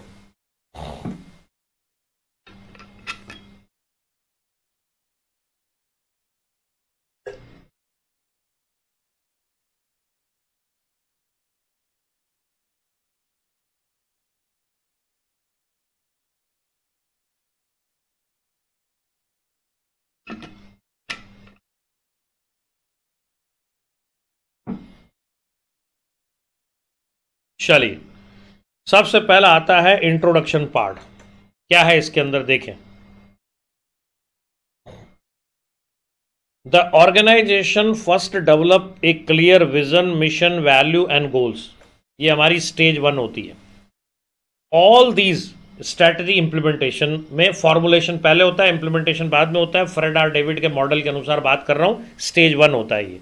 This is stage one All these aspects come together in the strategic plan that details organization, vision, mission, value, goals, high level implementation plan and performance measures. The strategic management process dynamic होता है continuous होता है ठीक है और इसको अपन Fred R David के मॉडल से बता सकते हैं किसने बताया ये फ्रेड आर डेविड ने हमें ये स्ट्रेटेजिक मैनेजमेंट मॉडल दिया जिसमें पहली स्टेज फॉर्मुलेशन है दूसरी इंप्लीमेंटेशन है तीसरी इवेल्युएशन है यहाँ पे देखो डेवलप करते हैं विजन मिशन को, उसके लिए एक्सटर्नल एनालिसिस करके अपॉर्चुनिटी थ्रेड का पता लगाते हैं इंटरनल करके स्ट्रेंथ एंड वीकनेस का पता लगाते हैं, फिर जनरेट एनालाइज और स्ट्रेटजी करते हैं, ये फॉर्मुलेशन का पार्ट है, फिर इंप्लीमेंट होती है, फिर इवेल्युएट होती है। ठीक है? ये पहला पोर्शन अब इसी को डिटेल में हमने समझा था, पाँच स्टेजेस का काम है ये।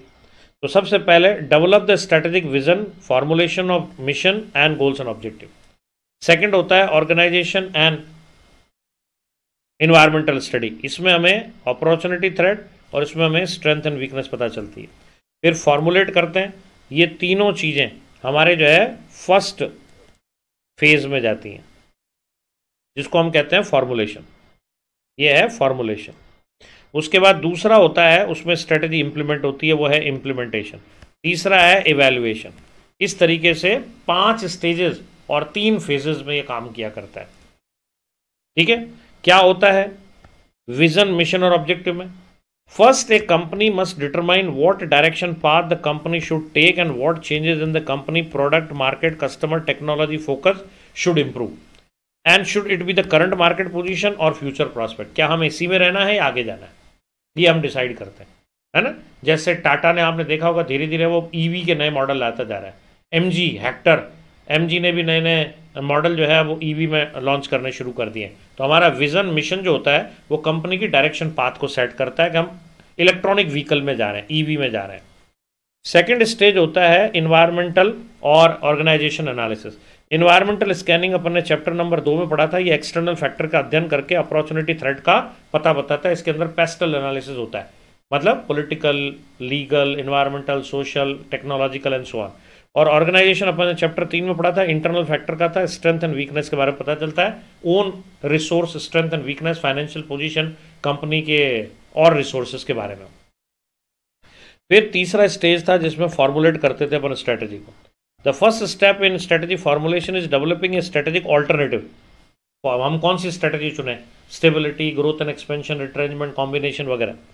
और उसके लिए हम अपनी स्ट्रेंथ वीकनेस अपॉर्चुनिटी थ्रेट का अध्ययन करेंगे एनवायरमेंट से। अगला स्टेज है इंप्लीमेंटेशन इंप्लीमेंटेशन एंड एग्जीक्यूशन ये ऑपरेशन ओरिएंटेड एक्टिविटी है जहाँ पे हम बिज़नेस की एक्टिविटीज़ को सपोर्टिव मैनर में लागू करते हुए रिज़ल्ट प्राप्त किया करते हैं। पांचवा स्टेज है इवेल्युएशन कंट्रोल क्यों करते हैं अपन? The final stage of strategic management is evaluation evaluation मतलब एसेस करना कि हमारी स्ट्रेटेजी ने रिज़ल्ट क्या दिया है? और नहीं दिया है तो करेक्टिव एक्शन लेना ताकि हम कोर्स करेक्शन कर सकें अपने विजन में ऑब्जेक्टिव में या एग्जीक्यूशन के तौर तरीकों में ताकि हम फाइन ट्यून करते हुए अंतिम नतीजे पे पहुँच सकें। तो ये हमने देखा फ्रेड आर डेविड के फ्रेड आर डेविड के स्ट्रेटेजिक मैनेजमेंट मॉडल और उसकी पाँच स्टेजेस के बारे में। ये जो पहला वाला आपका पेज है, इसमें क्या था? फ्रेड आर डेविड का स्ट्रेटेजिक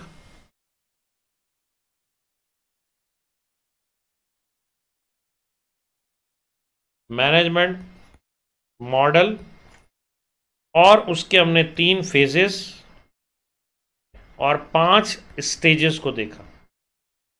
तीन फेजेस कौन से हैं? फॉर्मुलेशन फ़ेज़ वन है इम्प्लीमेंटेशन फ़ेज़ टू है इवेल्युएशन तीन है। और इसके अंदर स्टेजेस कौन सी है? ये पहली है, ये टू ए है, ये टू बी है, ये थ्री है, ये फोर है, ये फाइव है स्टेजेस और उन्हीं को इसने एक्सप्लेन किया है इस पेज में। कितना आसान हो गया आपके लिए। मतलब आप दिमाग में एकदम बत्ती जल जाती है। इस समरी चार्ट को देखते दिमाग में बत्ती जलती है। है ना? तो बत्रा सर की क्लास पढ़ाओ और दिमाग की बत्ती जलाओ। बताओ रे, सारी चीज़ें रिवाइज हो रही है कि नहीं हो रही है? बताओ। फटाफट से चैट बॉक्स खुला पड़ा है, बताओ।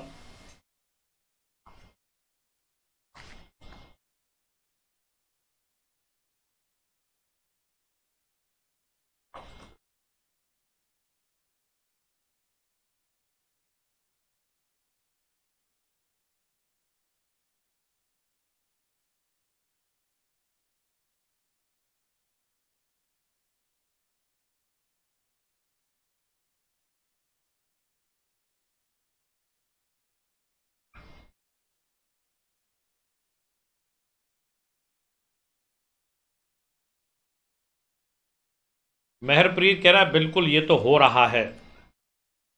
चलिए, अब हम चलते हैं पेज टू पे। क्या बात करेंगे हम यहाँ पे?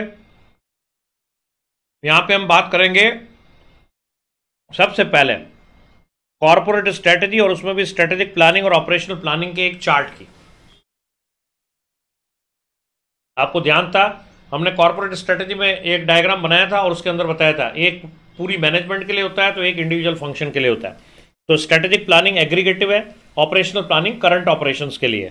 तो सबसे पहले बात करते हैं स्ट्रेटेजिक प्लानिंग मतलब ओवरऑल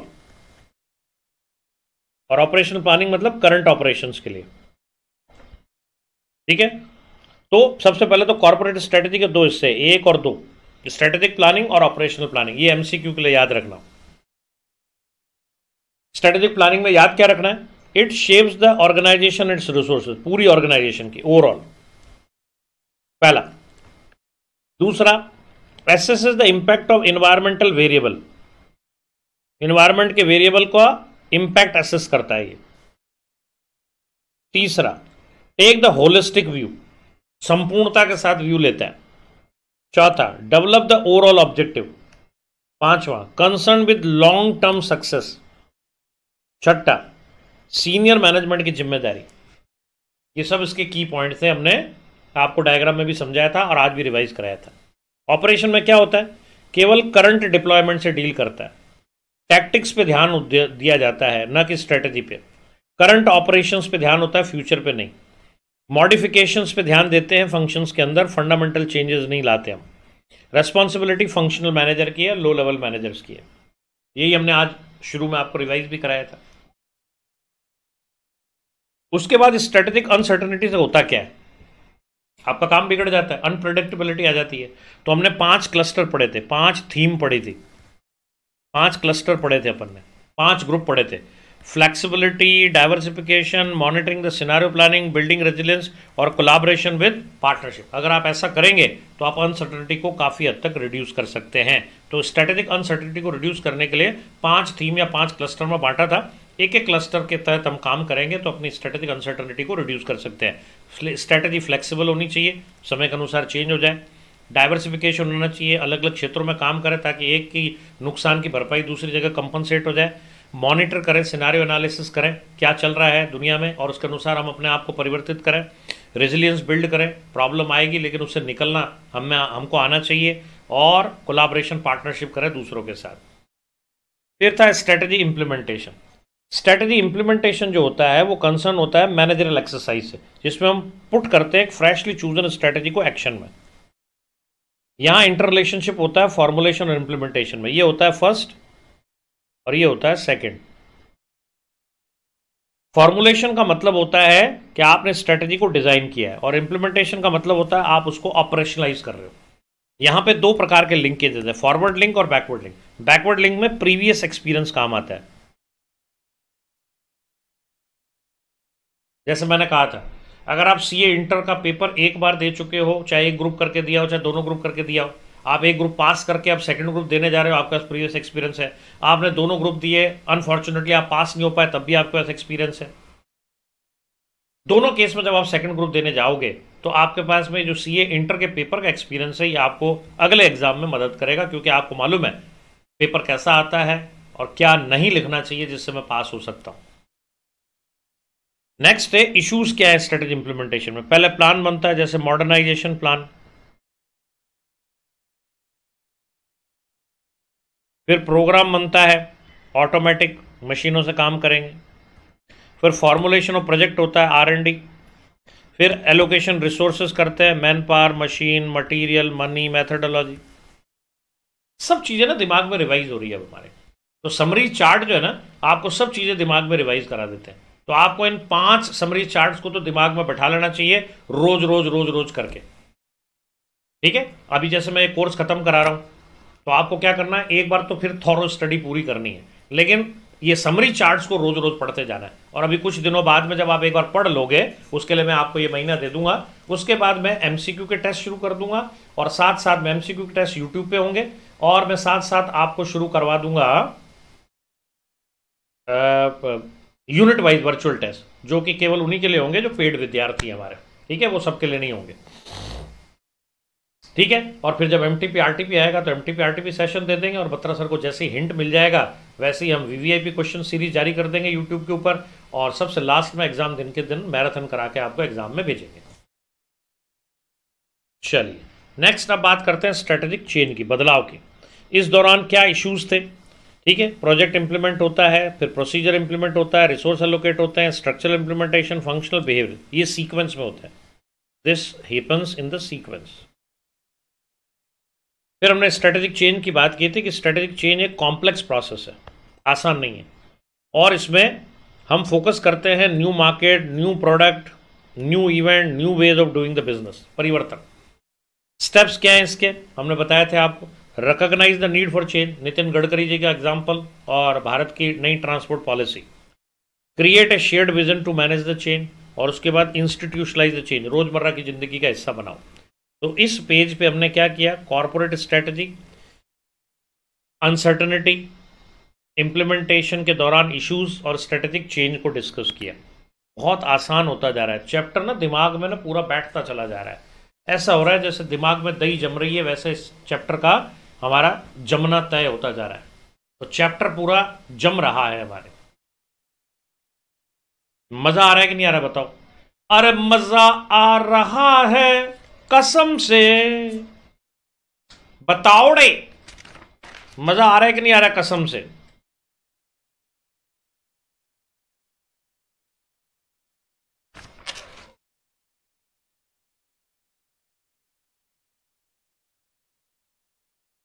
बिल्कुल एवरी चैप्टर टेन मार्क्स का है आपका। बिल्कुल सही कहा मेहरप्रीत आपने। Ten marks including MCQ MCQ भी इसी दस नंबर में शामिल है। तो कुछ एमसीक्यू आएँगे और कुछ दूसरे सवाल होंगे केस सिनारियो या डिस्क्रिप्टिव के। चलिए, चलते हैं तीसरे समरी पेज पे। इसमें क्या पढ़ेंगे अपन? कर्ट लेविन का चेंज प्रोसेस पढ़ेंगे डिजिटल ट्रांसफॉर्मेशन पढ़ेंगे, और, हम फ्रेमवर्क पढ़ेंगे मैकेजी वाला। और ऑर्गेनाइजेशन स्ट्रक्चर के बारे में बात करेंगे। तो आओ एक एक टॉपिक के बारे में बात करते हैं। है ना? सबसे पहले कर्ट लेविन का चेंज प्रोसेस अगर आप चाहते हो कि आपका चेंज लॉन्ग लास्टिंग हो जाए तो आप सबसे पहले अनफ्रीज करो सिचुएशन को। मतलब पुराने तौर तरीके छोड़ो। वनीला आइसक्रीम का एग्ज़ाम्पल दिया था मैंने। Vanilla ice cream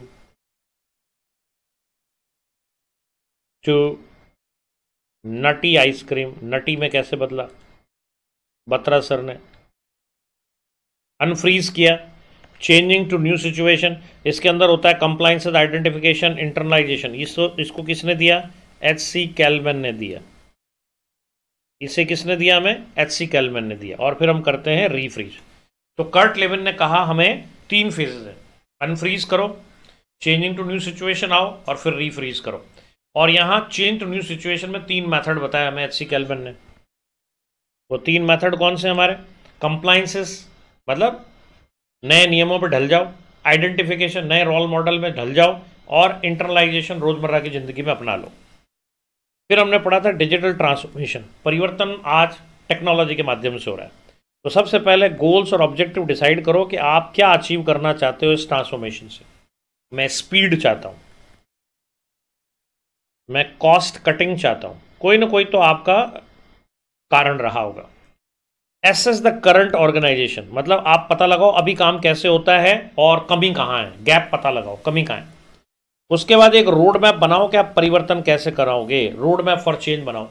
यहाँ से डिजायर्ड स्थिति तक कैसे जाओगे।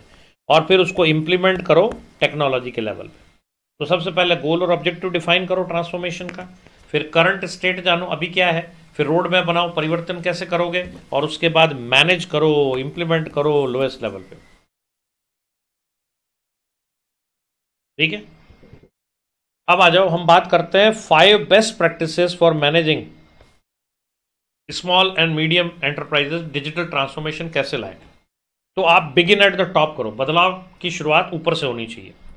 Ensure that change is both necessary and desired ऐसा परिवर्तन हो जो ज़रूरी भी है और करना भी है। तीसरा डिस्क्रप्शन कम से कम हो, लोगों को इसके बारे में पता हो। चौथा इनकरेज करो। कम्युनिकेशन हर बात समझाते रहो उन्हें। कोई गैप मत रखो कम्युनिकेशन का। रिकोगनाइज करो चेंज जो है, वो आपके लिए एक नॉर्मल प्रक्रिया बन जाए, न कि एक्सेप्शन मतलब आप उसको नए तौर तरीके से अपनाओगे और काम करोगे, न कि पीछे छोड़ोगे। चेंज करना पड़ेगा डिजिटल ट्रांसफॉर्मेशन के दौरान। तो आपको स्पेसिफाई करने पड़ेंगे आपके एम्स और ऑब्जेक्टिव को। ऑलवेज ऑलवेज ऑलवेज कम्युनिकेट कोई गैप मत रखो। हमेशा रेडी रहो रेजिस्टेंस के लिए लोग विरोध करेंगे। इम्प्लीमेंट करो धीरे धीरे। हौले हौले से हवा बहती है। हौले हौले से हर चीज़ होती है। ध्यान रखो। असिस्टेंस और ट्रेनिंग लगातार दो, वरना फेल कर जाओगे। जहाँ हमें हेल्प नहीं मिलती, वहाँ हम इमीडिएटली उस नई चीज़ को छोड़ देते हैं। जैसे फीचर्ड बटन वाले फ़ोन से हम स्मार्टफ़ोन पे गए तो उन लोगों को जिनको हमने समझा दिया स्मार्टफ़ोन कैसे काम करता है, उनके लिए तो आसान हो गया। लेकिन जो इसको समझ नहीं पाए, जिनको हमने ट्रेनिंग नहीं दी, वो आज भी फीचर फ़ोन यूज़ कर रहे हैं, उनको स्मार्टफ़ोन झंझट लगता है। तो ट्रेनिंग दो। नेक्स्ट ओरिजिनल फ्रेमवर्क क्या है हमारा? मिकेंजी का सेवन एस मॉडल क्या है हमारा? मिकेंजी सेवन एस मॉडल है। वो कहता है कि कंपनी के अपने ऑर्गेनाइजेशन जो डिज़ाइन है, उसकी इफेक्टिवनेस को नापने के लिए आपको हार्ड और सॉफ्ट एलिमेंट समझने होंगे। हार्ड एंड सॉफ्ट एलिमेंट समझने होंगे, जो टोटल है सात। हार्ड एलिमेंट है हमारे तीन सॉफ्ट एलिमेंट है हमारे चार। स्ट्रेटजी क्या है आपकी? स्ट्रक्चर कैसे बना है और सिस्टम कैसे वर्क करता है? शेयर्ड वैल्यूज़ क्या हैं? ऑर्गेनाइजेशन के मेंबर्स के बीच में स्टाफ कितना आपके काबिल है? और उनकी स्किल कैसी है? मतलब उनको क्या सिखाया गया है? और स्टाइल ऑफ़ वर्किंग कैसी है उनकी? तो ये मैकेजी का सेवन एस मॉडल हमारे को ऑर्गेनाइजेशन के फ्रेमवर्क से सिखाता है। फिर ऑर्गेनाइजेशन के स्ट्रक्चर की बात करते हैं। आइडियल ऑर्गेनाइजेशन स्ट्रक्चर वो होता है जो आइडिया फ़िल्टर करते हैं अप एंड डाउन जहाँ आइडिया इंपॉर्टेंट इंपॉर्टेंस रखता है, न कि उसको देने वाला। ठीक है, जहाँ ऑब्जेक्टिव ज़्यादा वैल्यू किए जाते हैं in comparison to executive order पहला स्ट्रक्चर जो होता है आपका लार्जली डिक्टेट करता है how the things are organise मतलब स्ट्रक्चर अगर बड़ा होगा तो स्ट्रेटजी उस हिसाब से बन जाएगी। और सेकंड मेजर रीजन है कि strategy often require changes in the structure ऐसा हमने चैंडलर के सिद्धांत से भी देखा था।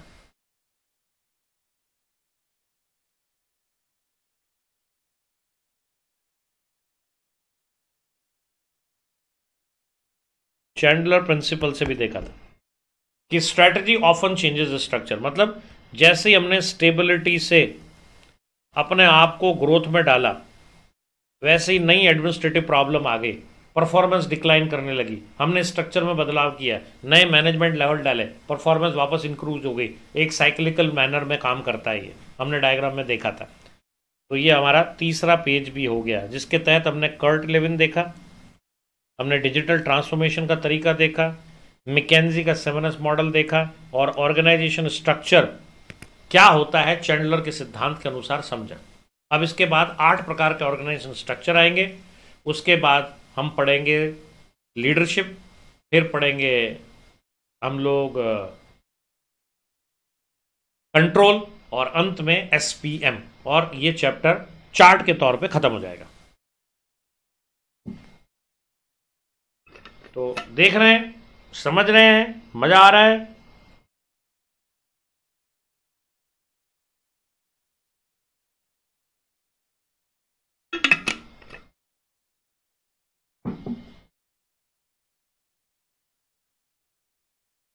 चलिए, आगे बढ़ते हैं। Fourth type of organisation structure आठ प्रकार के होते हैं। कौन से आठ प्रकार के होते हैं? देखो सिंपल फंक्शनल डिविजनल डिविजनल में चार। Division by geography division by product division by customer division by process यहाँ प्रोडक्ट भी हो सकता है और सर्विस भी हो सकती है। हमने सबके एग्ज़ाम्पल दिए थे आपको। उसके बाद multi divisional structure multi division में क्या होता है?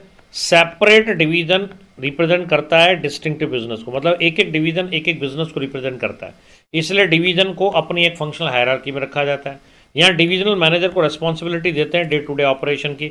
Small corporate office long term strategic direction provide करता है, बाकी एग्जीक्यूशन आपका है। फिर था एस बी यू कैरेक्टरिस्टिक क्या है? या तो ये सिंगल बिज़नेस है या कलेक्शन और रिलेटेड बिज़नेस है, इसके अपने सेट ऑफ़ कॉम्पिटिटर है, इसका अपना एक मैनेजर है, जो कि स्ट्रेटेजिक प्लानिंग और प्रॉफिट परफॉर्मेंस के लिए जिम्मेदार होता है। नेटवर्क स्ट्रक्चर पढ़ा था, ये न्यू स्ट्रक्चर है। इसको वर्चुअल स्ट्रक्चर भी कहते हैं, ये नॉन स्ट्रक्चर भी कहलाता है क्योंकि फ़िज़िकल नहीं है, बहुत सारी एक्टिविटी आउटसोर्स की जाती हैं इन हाउस नहीं की जाती। एग्ज़ाम्पल में हमने आपको बताया था एयरटेल रीबॉक नाइक इस तरीके से काम कर रहे हैं। कैसे होता है, हमने तीन स्टेजेस बताई थी टाटा नैनो के एग्ज़ाम्पल से। क्रॉस फंक्शनल टास्क फोर्स बनाओ गिरीश वाघ पीरर कास्टिन जस्टिन नॉर्के को इकट्ठा किया गया अलग अलग डिपार्टमेंट से और एक टीम बनाई।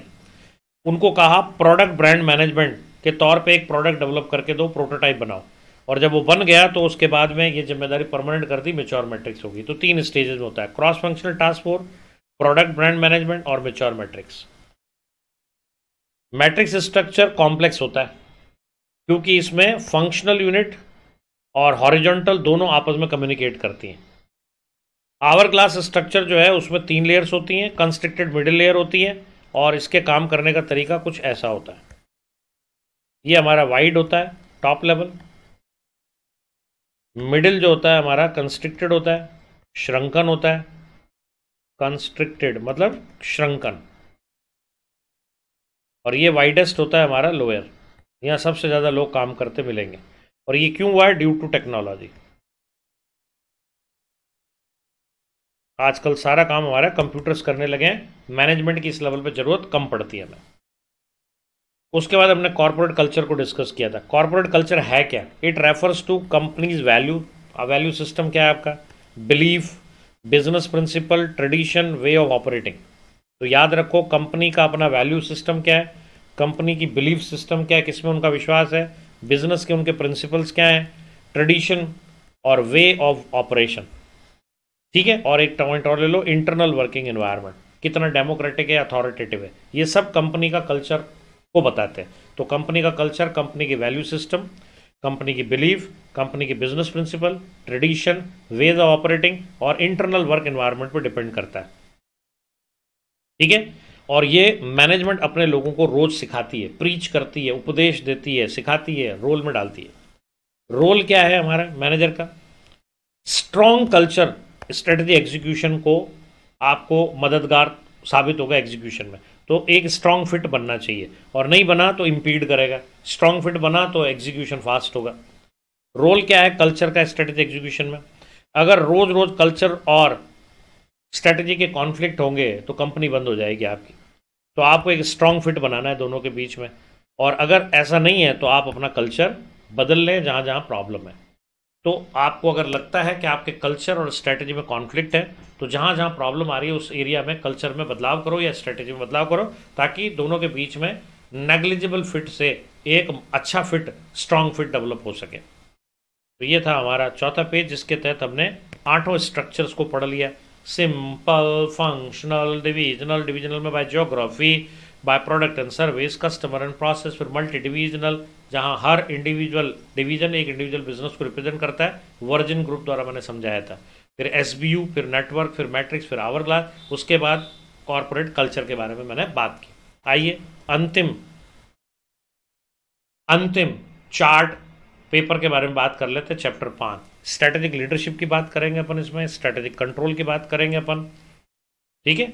तो आइए बात करते हैं इस पर सबसे पहले रोल क्या है? लीडरशिप रोल क्या है इंप्लीमेंटेशन में? इंप्लीमेंटेशन सक्सेसफुल कब होती है? जब आपका इफ़ेक्टिव तरीके से चीज़ों को लागू किया जाता है, जैसा आपने चीज़ों को सोचा है।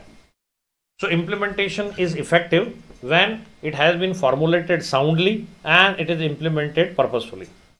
अब यहाँ लीडरशिप रोल क्या है? Stay on the top of what is happening promote a culture that mobilizes and energizes the members ठीक है? मोबिलाइज और एनर्जाइज करें। तीसरा रेस्पॉन्सिव बनाओ ऑर्गेनाइजेशन को to the changing condition exercise करो एथिकल लीडरशिप को, है ना? और उसके बाद करेक्टिव एक्शन को पुश करो। ये पाँच लीडरशिप रोल है जो हमें निभाने होते हैं। ठीक है? एग्ज़ाम में सवाल भी आता है इस पर stay on the top of what is happening जहाँ जो कुछ हो रहा है लीडर को वहाँ रहना पड़ेगा। मतलब युद्ध के मैदान में सेनापति रहे, जहाँ सब चीज़ें चल रही है। ऐसा नहीं, सेनापति महल में है और युद्ध के मैदान में सेना लड़ रही है, बिना सेनापति के डायरेक्शन ही नहीं है। मोटिवेशन ही नहीं है। प्रमोट करो कल्चर जो लोगों में मोटिवेशन भर देता हो, जोश भर देता हो। रेस्पॉन्सिव रहो चेंजेस के प्रति। बदलाव लाना है तो लाना पड़ेगा। परिवर्तन हो रहा है। फिर एथिकल लीडरशिप करो। मतलब सही काम ही करेंगे, गलत नहीं करेंगे। ये अपने साथ साथ अपने मेंबर्स में भी डाल दो। लीगल फ्रेमवर्क में बंद के काम करोगे और करेक्टिव एक्शन लोगे जहाँ आपको परफॉर्मेंस गिरती हुई दिखेगी। दो प्रकार की लीडरशिप स्टाइल है। ट्रांसफॉर्मेशनल और ट्रांजेक्शनल ट्रांसफॉर्मेशनल तो होती है कैरिज्मा जादुई व्यक्तित्व से। लोगों में जोश भर देता है और ये रिवार्ड और पनिशमेंट पे चलता है। अच्छा काम करोगे, हम इनाम देंगे और नहीं करोगे तो हम पनिश करेंगे। नरेंद्र मोदी के एग्ज़ाम्पल से हमने इफ़ेक्टिव स्ट्रेटेजिक लीडरशिप के इस डायग्राम को समझाया था और आज रिवाइज भी कराया था। उसके बाद आता है स्ट्रेटेजिक कंट्रोल प्राइमरली जो हमारा ऑर्गेनाइजेशन कंट्रोल होता है, उसके तीन हिस्से होते हैं। पहला operational control day to day activities के ऊपर। मैनेजमेंट कंट्रोल जो एग्रीगेटिव होता है और तीसरा स्ट्रेटेजिक कंट्रोल जो स्ट्रेटेजी सही ढंग से बनी और लागू हुई है, उसको चेक करता है। ऑपरेशनल कंट्रोल जो आपका पहला वाला हिस्सा है ऑर्गेनाइजेशन कंट्रोल का, उसका मुख्य थ्रस्ट इंडिविजुअल टास्क और एक्टिविटीज़ पे होता है। ठीक है? जैसे कॉस्ट कंट्रोल बजटरी कंट्रोल वगैरह वगैरह वाली चीज़ें। ठीक है? मैनेजमेंट कंट्रोल जो होता है, वो ऑपरेशनल कंट्रोल के मुकाबले ज़्यादा इंक्लूसिव और एग्रीगेटिव होता है। इट इज़ इंक्लूसिव और एग्रीगेटिव ठीक है? ये पूरे डिपार्टमेंट डिवीज़न या फ़ंक्शन पे लागू होता है, सारी चीज़ों पे। और तीसरा है हमारा स्ट्रेटेजिक कंट्रोल शेंडल और हॉफर के शब्दों में स्ट्रेटेजिक कंट्रोल का पर्पस ड्यूल क्वेश्चन को सेटिस्फाई करना है। पहला, क्या स्ट्रेटजी वैसी ही इंप्लीमेंट हुई जैसी प्लान की गई थी? मतलब स्ट्रेटजी बनावट और स्ट्रेटजी लागू होने में कोई अंतर नहीं, दोनों एक ही तरीके से जैसी सोची गई थी। और दूसरा, क्या रिज़ल्ट जो स्ट्रेटजी ने हमें दिए हैं, वो क्या डिजायर्ड थे, वही इंटेंडेड थे या कुछ और है स्ट्रेटेजिक जो कंट्रोल होता है, जो तीसरे प्रकार का है, उसके चार हिस्से होते हैं। प्रोमाइसिस कंट्रोल आपकी धारणाएँ सही है या नहीं है, जिसके अंदर हम इन्वायरमेंटल और इंडस्ट्री फैक्टर्स का अध्ययन करते हैं। दूसरा स्ट्रेटेजिक सर्विलेंस होता है, जो अनफोकस्ड होता है, जो कैजुअल ब्राउजिंग से कई चीज़ें अनकवर कर देता है। जैसे न्यूज़ पेपर पढ़ लिया गॉसिप सुन ली फ्रेमवर्क से, या कोई कॉन्फ्रेंस मीटिंग अटेंड कर ली, वहाँ किसी ने डायस पे कुछ बताया स्पेशल अलर्ट कंट्रोल कुछ अनएक्सपेक्टेड इवेंट होते हैं। जैसे unexpected sudden merge merger acquisition हो गया, कोई टेररिस्ट अटैक हो गया गवर्नमेंट में चेंजेस आ गए पॉलिसी में चेंज आ गए। इम्प्लीमेंटेशन कंट्रोल का पर्पज़ ये जानना होता है कि हमारे स्ट्रेटेजिक थ्रस्ट मुख्य एरिया क्या था और हमने कौन कौन से चीज़ों को अचीव किया। इसको हमने इस डायग्राम के माध्यम से भी देखा था। ठीक है? बात आ गई सबको समझ में? क्लियर है क्लियर है क्लियर है। इस तरीके से हमने पूरे के पूरे सब चीज़ों को चार्ट के फॉर्म में भी आपको रिवाइज करा दिया। पूरा चैप्टर एक बार फिर से रिवाइज हो गया। मतलब मैंने क्लास शुरू की, तब मैंने करीब करीब आधा पौन घंटा लेके रिवाइज किया। अभी फिर मैंने करीब करीब 20-25 मिनट लगाए और पूरे पाँच पेजेस में पूरा चैप्टर आपके सामने रिवाइज कर दिया। बताओ, कैसा लगता है? अरे अच्छा लगता है। अरे बत्रा सर से पढ़ना।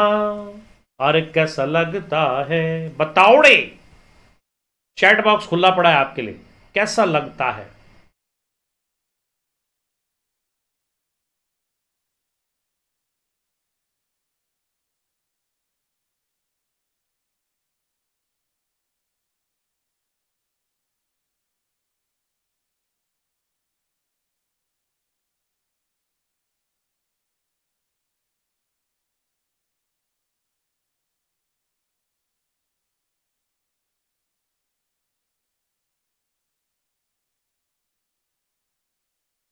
बहुत अच्छा लगता है। ऐसा बच्चा बच्चा कह रहा है कि हमें आपसे पढ़ना बहुत अच्छा लगता है। अच्छा लगता है एसएम को पढ़ना, हम सबको। अच्छा लगता है हम सबको। स्ट्रैटेजिक मैनेजमेंट पढ़ना, बहुत अच्छा। चलिए अच्छा एस एम पी एम और है, एक पेज और है, इसको भी कर लो। हाँ एम बच गया था ना और लीडरशिप बच गया था तो उसको भी कर लो। चलो, फिर खत्म करते हैं अपन। स्ट्रेटेजिक परफॉर्मेंस और लीडरशिप पहले परफॉर्मेंस मेजर्स की बात कर लेते हैं एसपीएम कंपनी की परफॉर्मेंस हैविली डिपेंड करती है कि आपने स्ट्रेटजी को कैसे एग्जीक्यूट किया और इसके लिए कुछ की इंडिकेटर्स हुआ करते हैं, जिन्हें केपीआई कहते हैं। ये की परफॉर्मेंस मेजर्स जो होते हैं, ये इंडिकेट करते हैं हमारे को कि हमने किस तरीके से क्रिएट सेलेक्ट और कंबाइन किया है इन परफॉर्मेंस टारगेट इंडिकेटर्स को। ठीक है? अब कितने प्रकार के हैं ये मेजर्स फाइनेंशियल मेजर्स होते हैं कस्टमर सेटिस्फेक्शन मेजर्स होते हैं मार्केट मेजर्स हैं एम्प्लॉय हैं इनोवेटिव है इन्वायरमेंटल है। फाइनेंशियल मेजर्स में, हमारे पास में आर आ जाते हैं। कस्टमर सेटिस्फेक्शन मेजर्स में कस्टमर के लेवल का सेटिस्फेक्शन नापने की बात है। मार्केट मेजर्स में हमारे शेयर्स पे हम नज़र रखते हैं। एम्प्लॉयज़ मेज़रमेंट में एम्प्लॉयज़ के सेटिस्फेक्शन पे ध्यान रखते हैं। इनोवेटिव मेजर्स में आर हमने किया, नहीं किया। इन्वायरमेंटल मेजर्स में ध्यान रखते हैं कि हमने इन्वायरमेंट को पोल्यूट तो नहीं किया। हमसे प्लानट हमसे पीपल हमसे सब संतुष्ट हैं या नहीं है? इंपॉर्टेंस क्या है इसकी? हम इससे गोल को अलाइन कर सकते हैं, अपने गोल को रिसोर्सेज को प्रॉपरली एलोकेट कर सकते हैं, अपने में कंटिन्यूस इंप्रूवमेंट ला सकते हैं और एक्सटर्नल चीज़ों की अकाउंटेबिलिटी सेट कर सकते हैं। राइट परफॉर्मेंस मेजर्स क्या है? आप रेलेवेंट हैं या नहीं है डेटा उपलब्ध कराते कि नहीं थे क्वालिटी अच्छी है कि नहीं है और समय पर है या नहीं। चार चीज़ें इसमें राइट परफॉर्मेंस मेजर्स को बताती हैं। बात आ रही है कि कुछ समझ में? अब ये देखो, तीन चीज़ें क्या हैं जिसको अपन थ्री पीज या टीवीएल ट्रिपल बॉटम लाइन भी कहते हैं। मतलब पीपल लोगों में इंप्रूवमेंट आना चाहिए उनके काम करने के तरीकों में। प्लैनेट ज़्यादा बेटर तरीके से काम करे मतलब इकोलॉजिकली फ्रेंडली हो। इन्वायरमेंटल फ्रेंडली हो और प्रॉफिट आने चाहिए आपके। और इसके साथ एक चौथा पी और जुड़ जाता है दैट इज़ पर्पस तो हमारा काम बढ़िया हो जाता है, हमारी मंशा भी अच्छी हो जानी चाहिए। तो इस तरीके से हमने देखा, ये हमारा पूरा का पूरा चैप्टर ख़त्म होता है।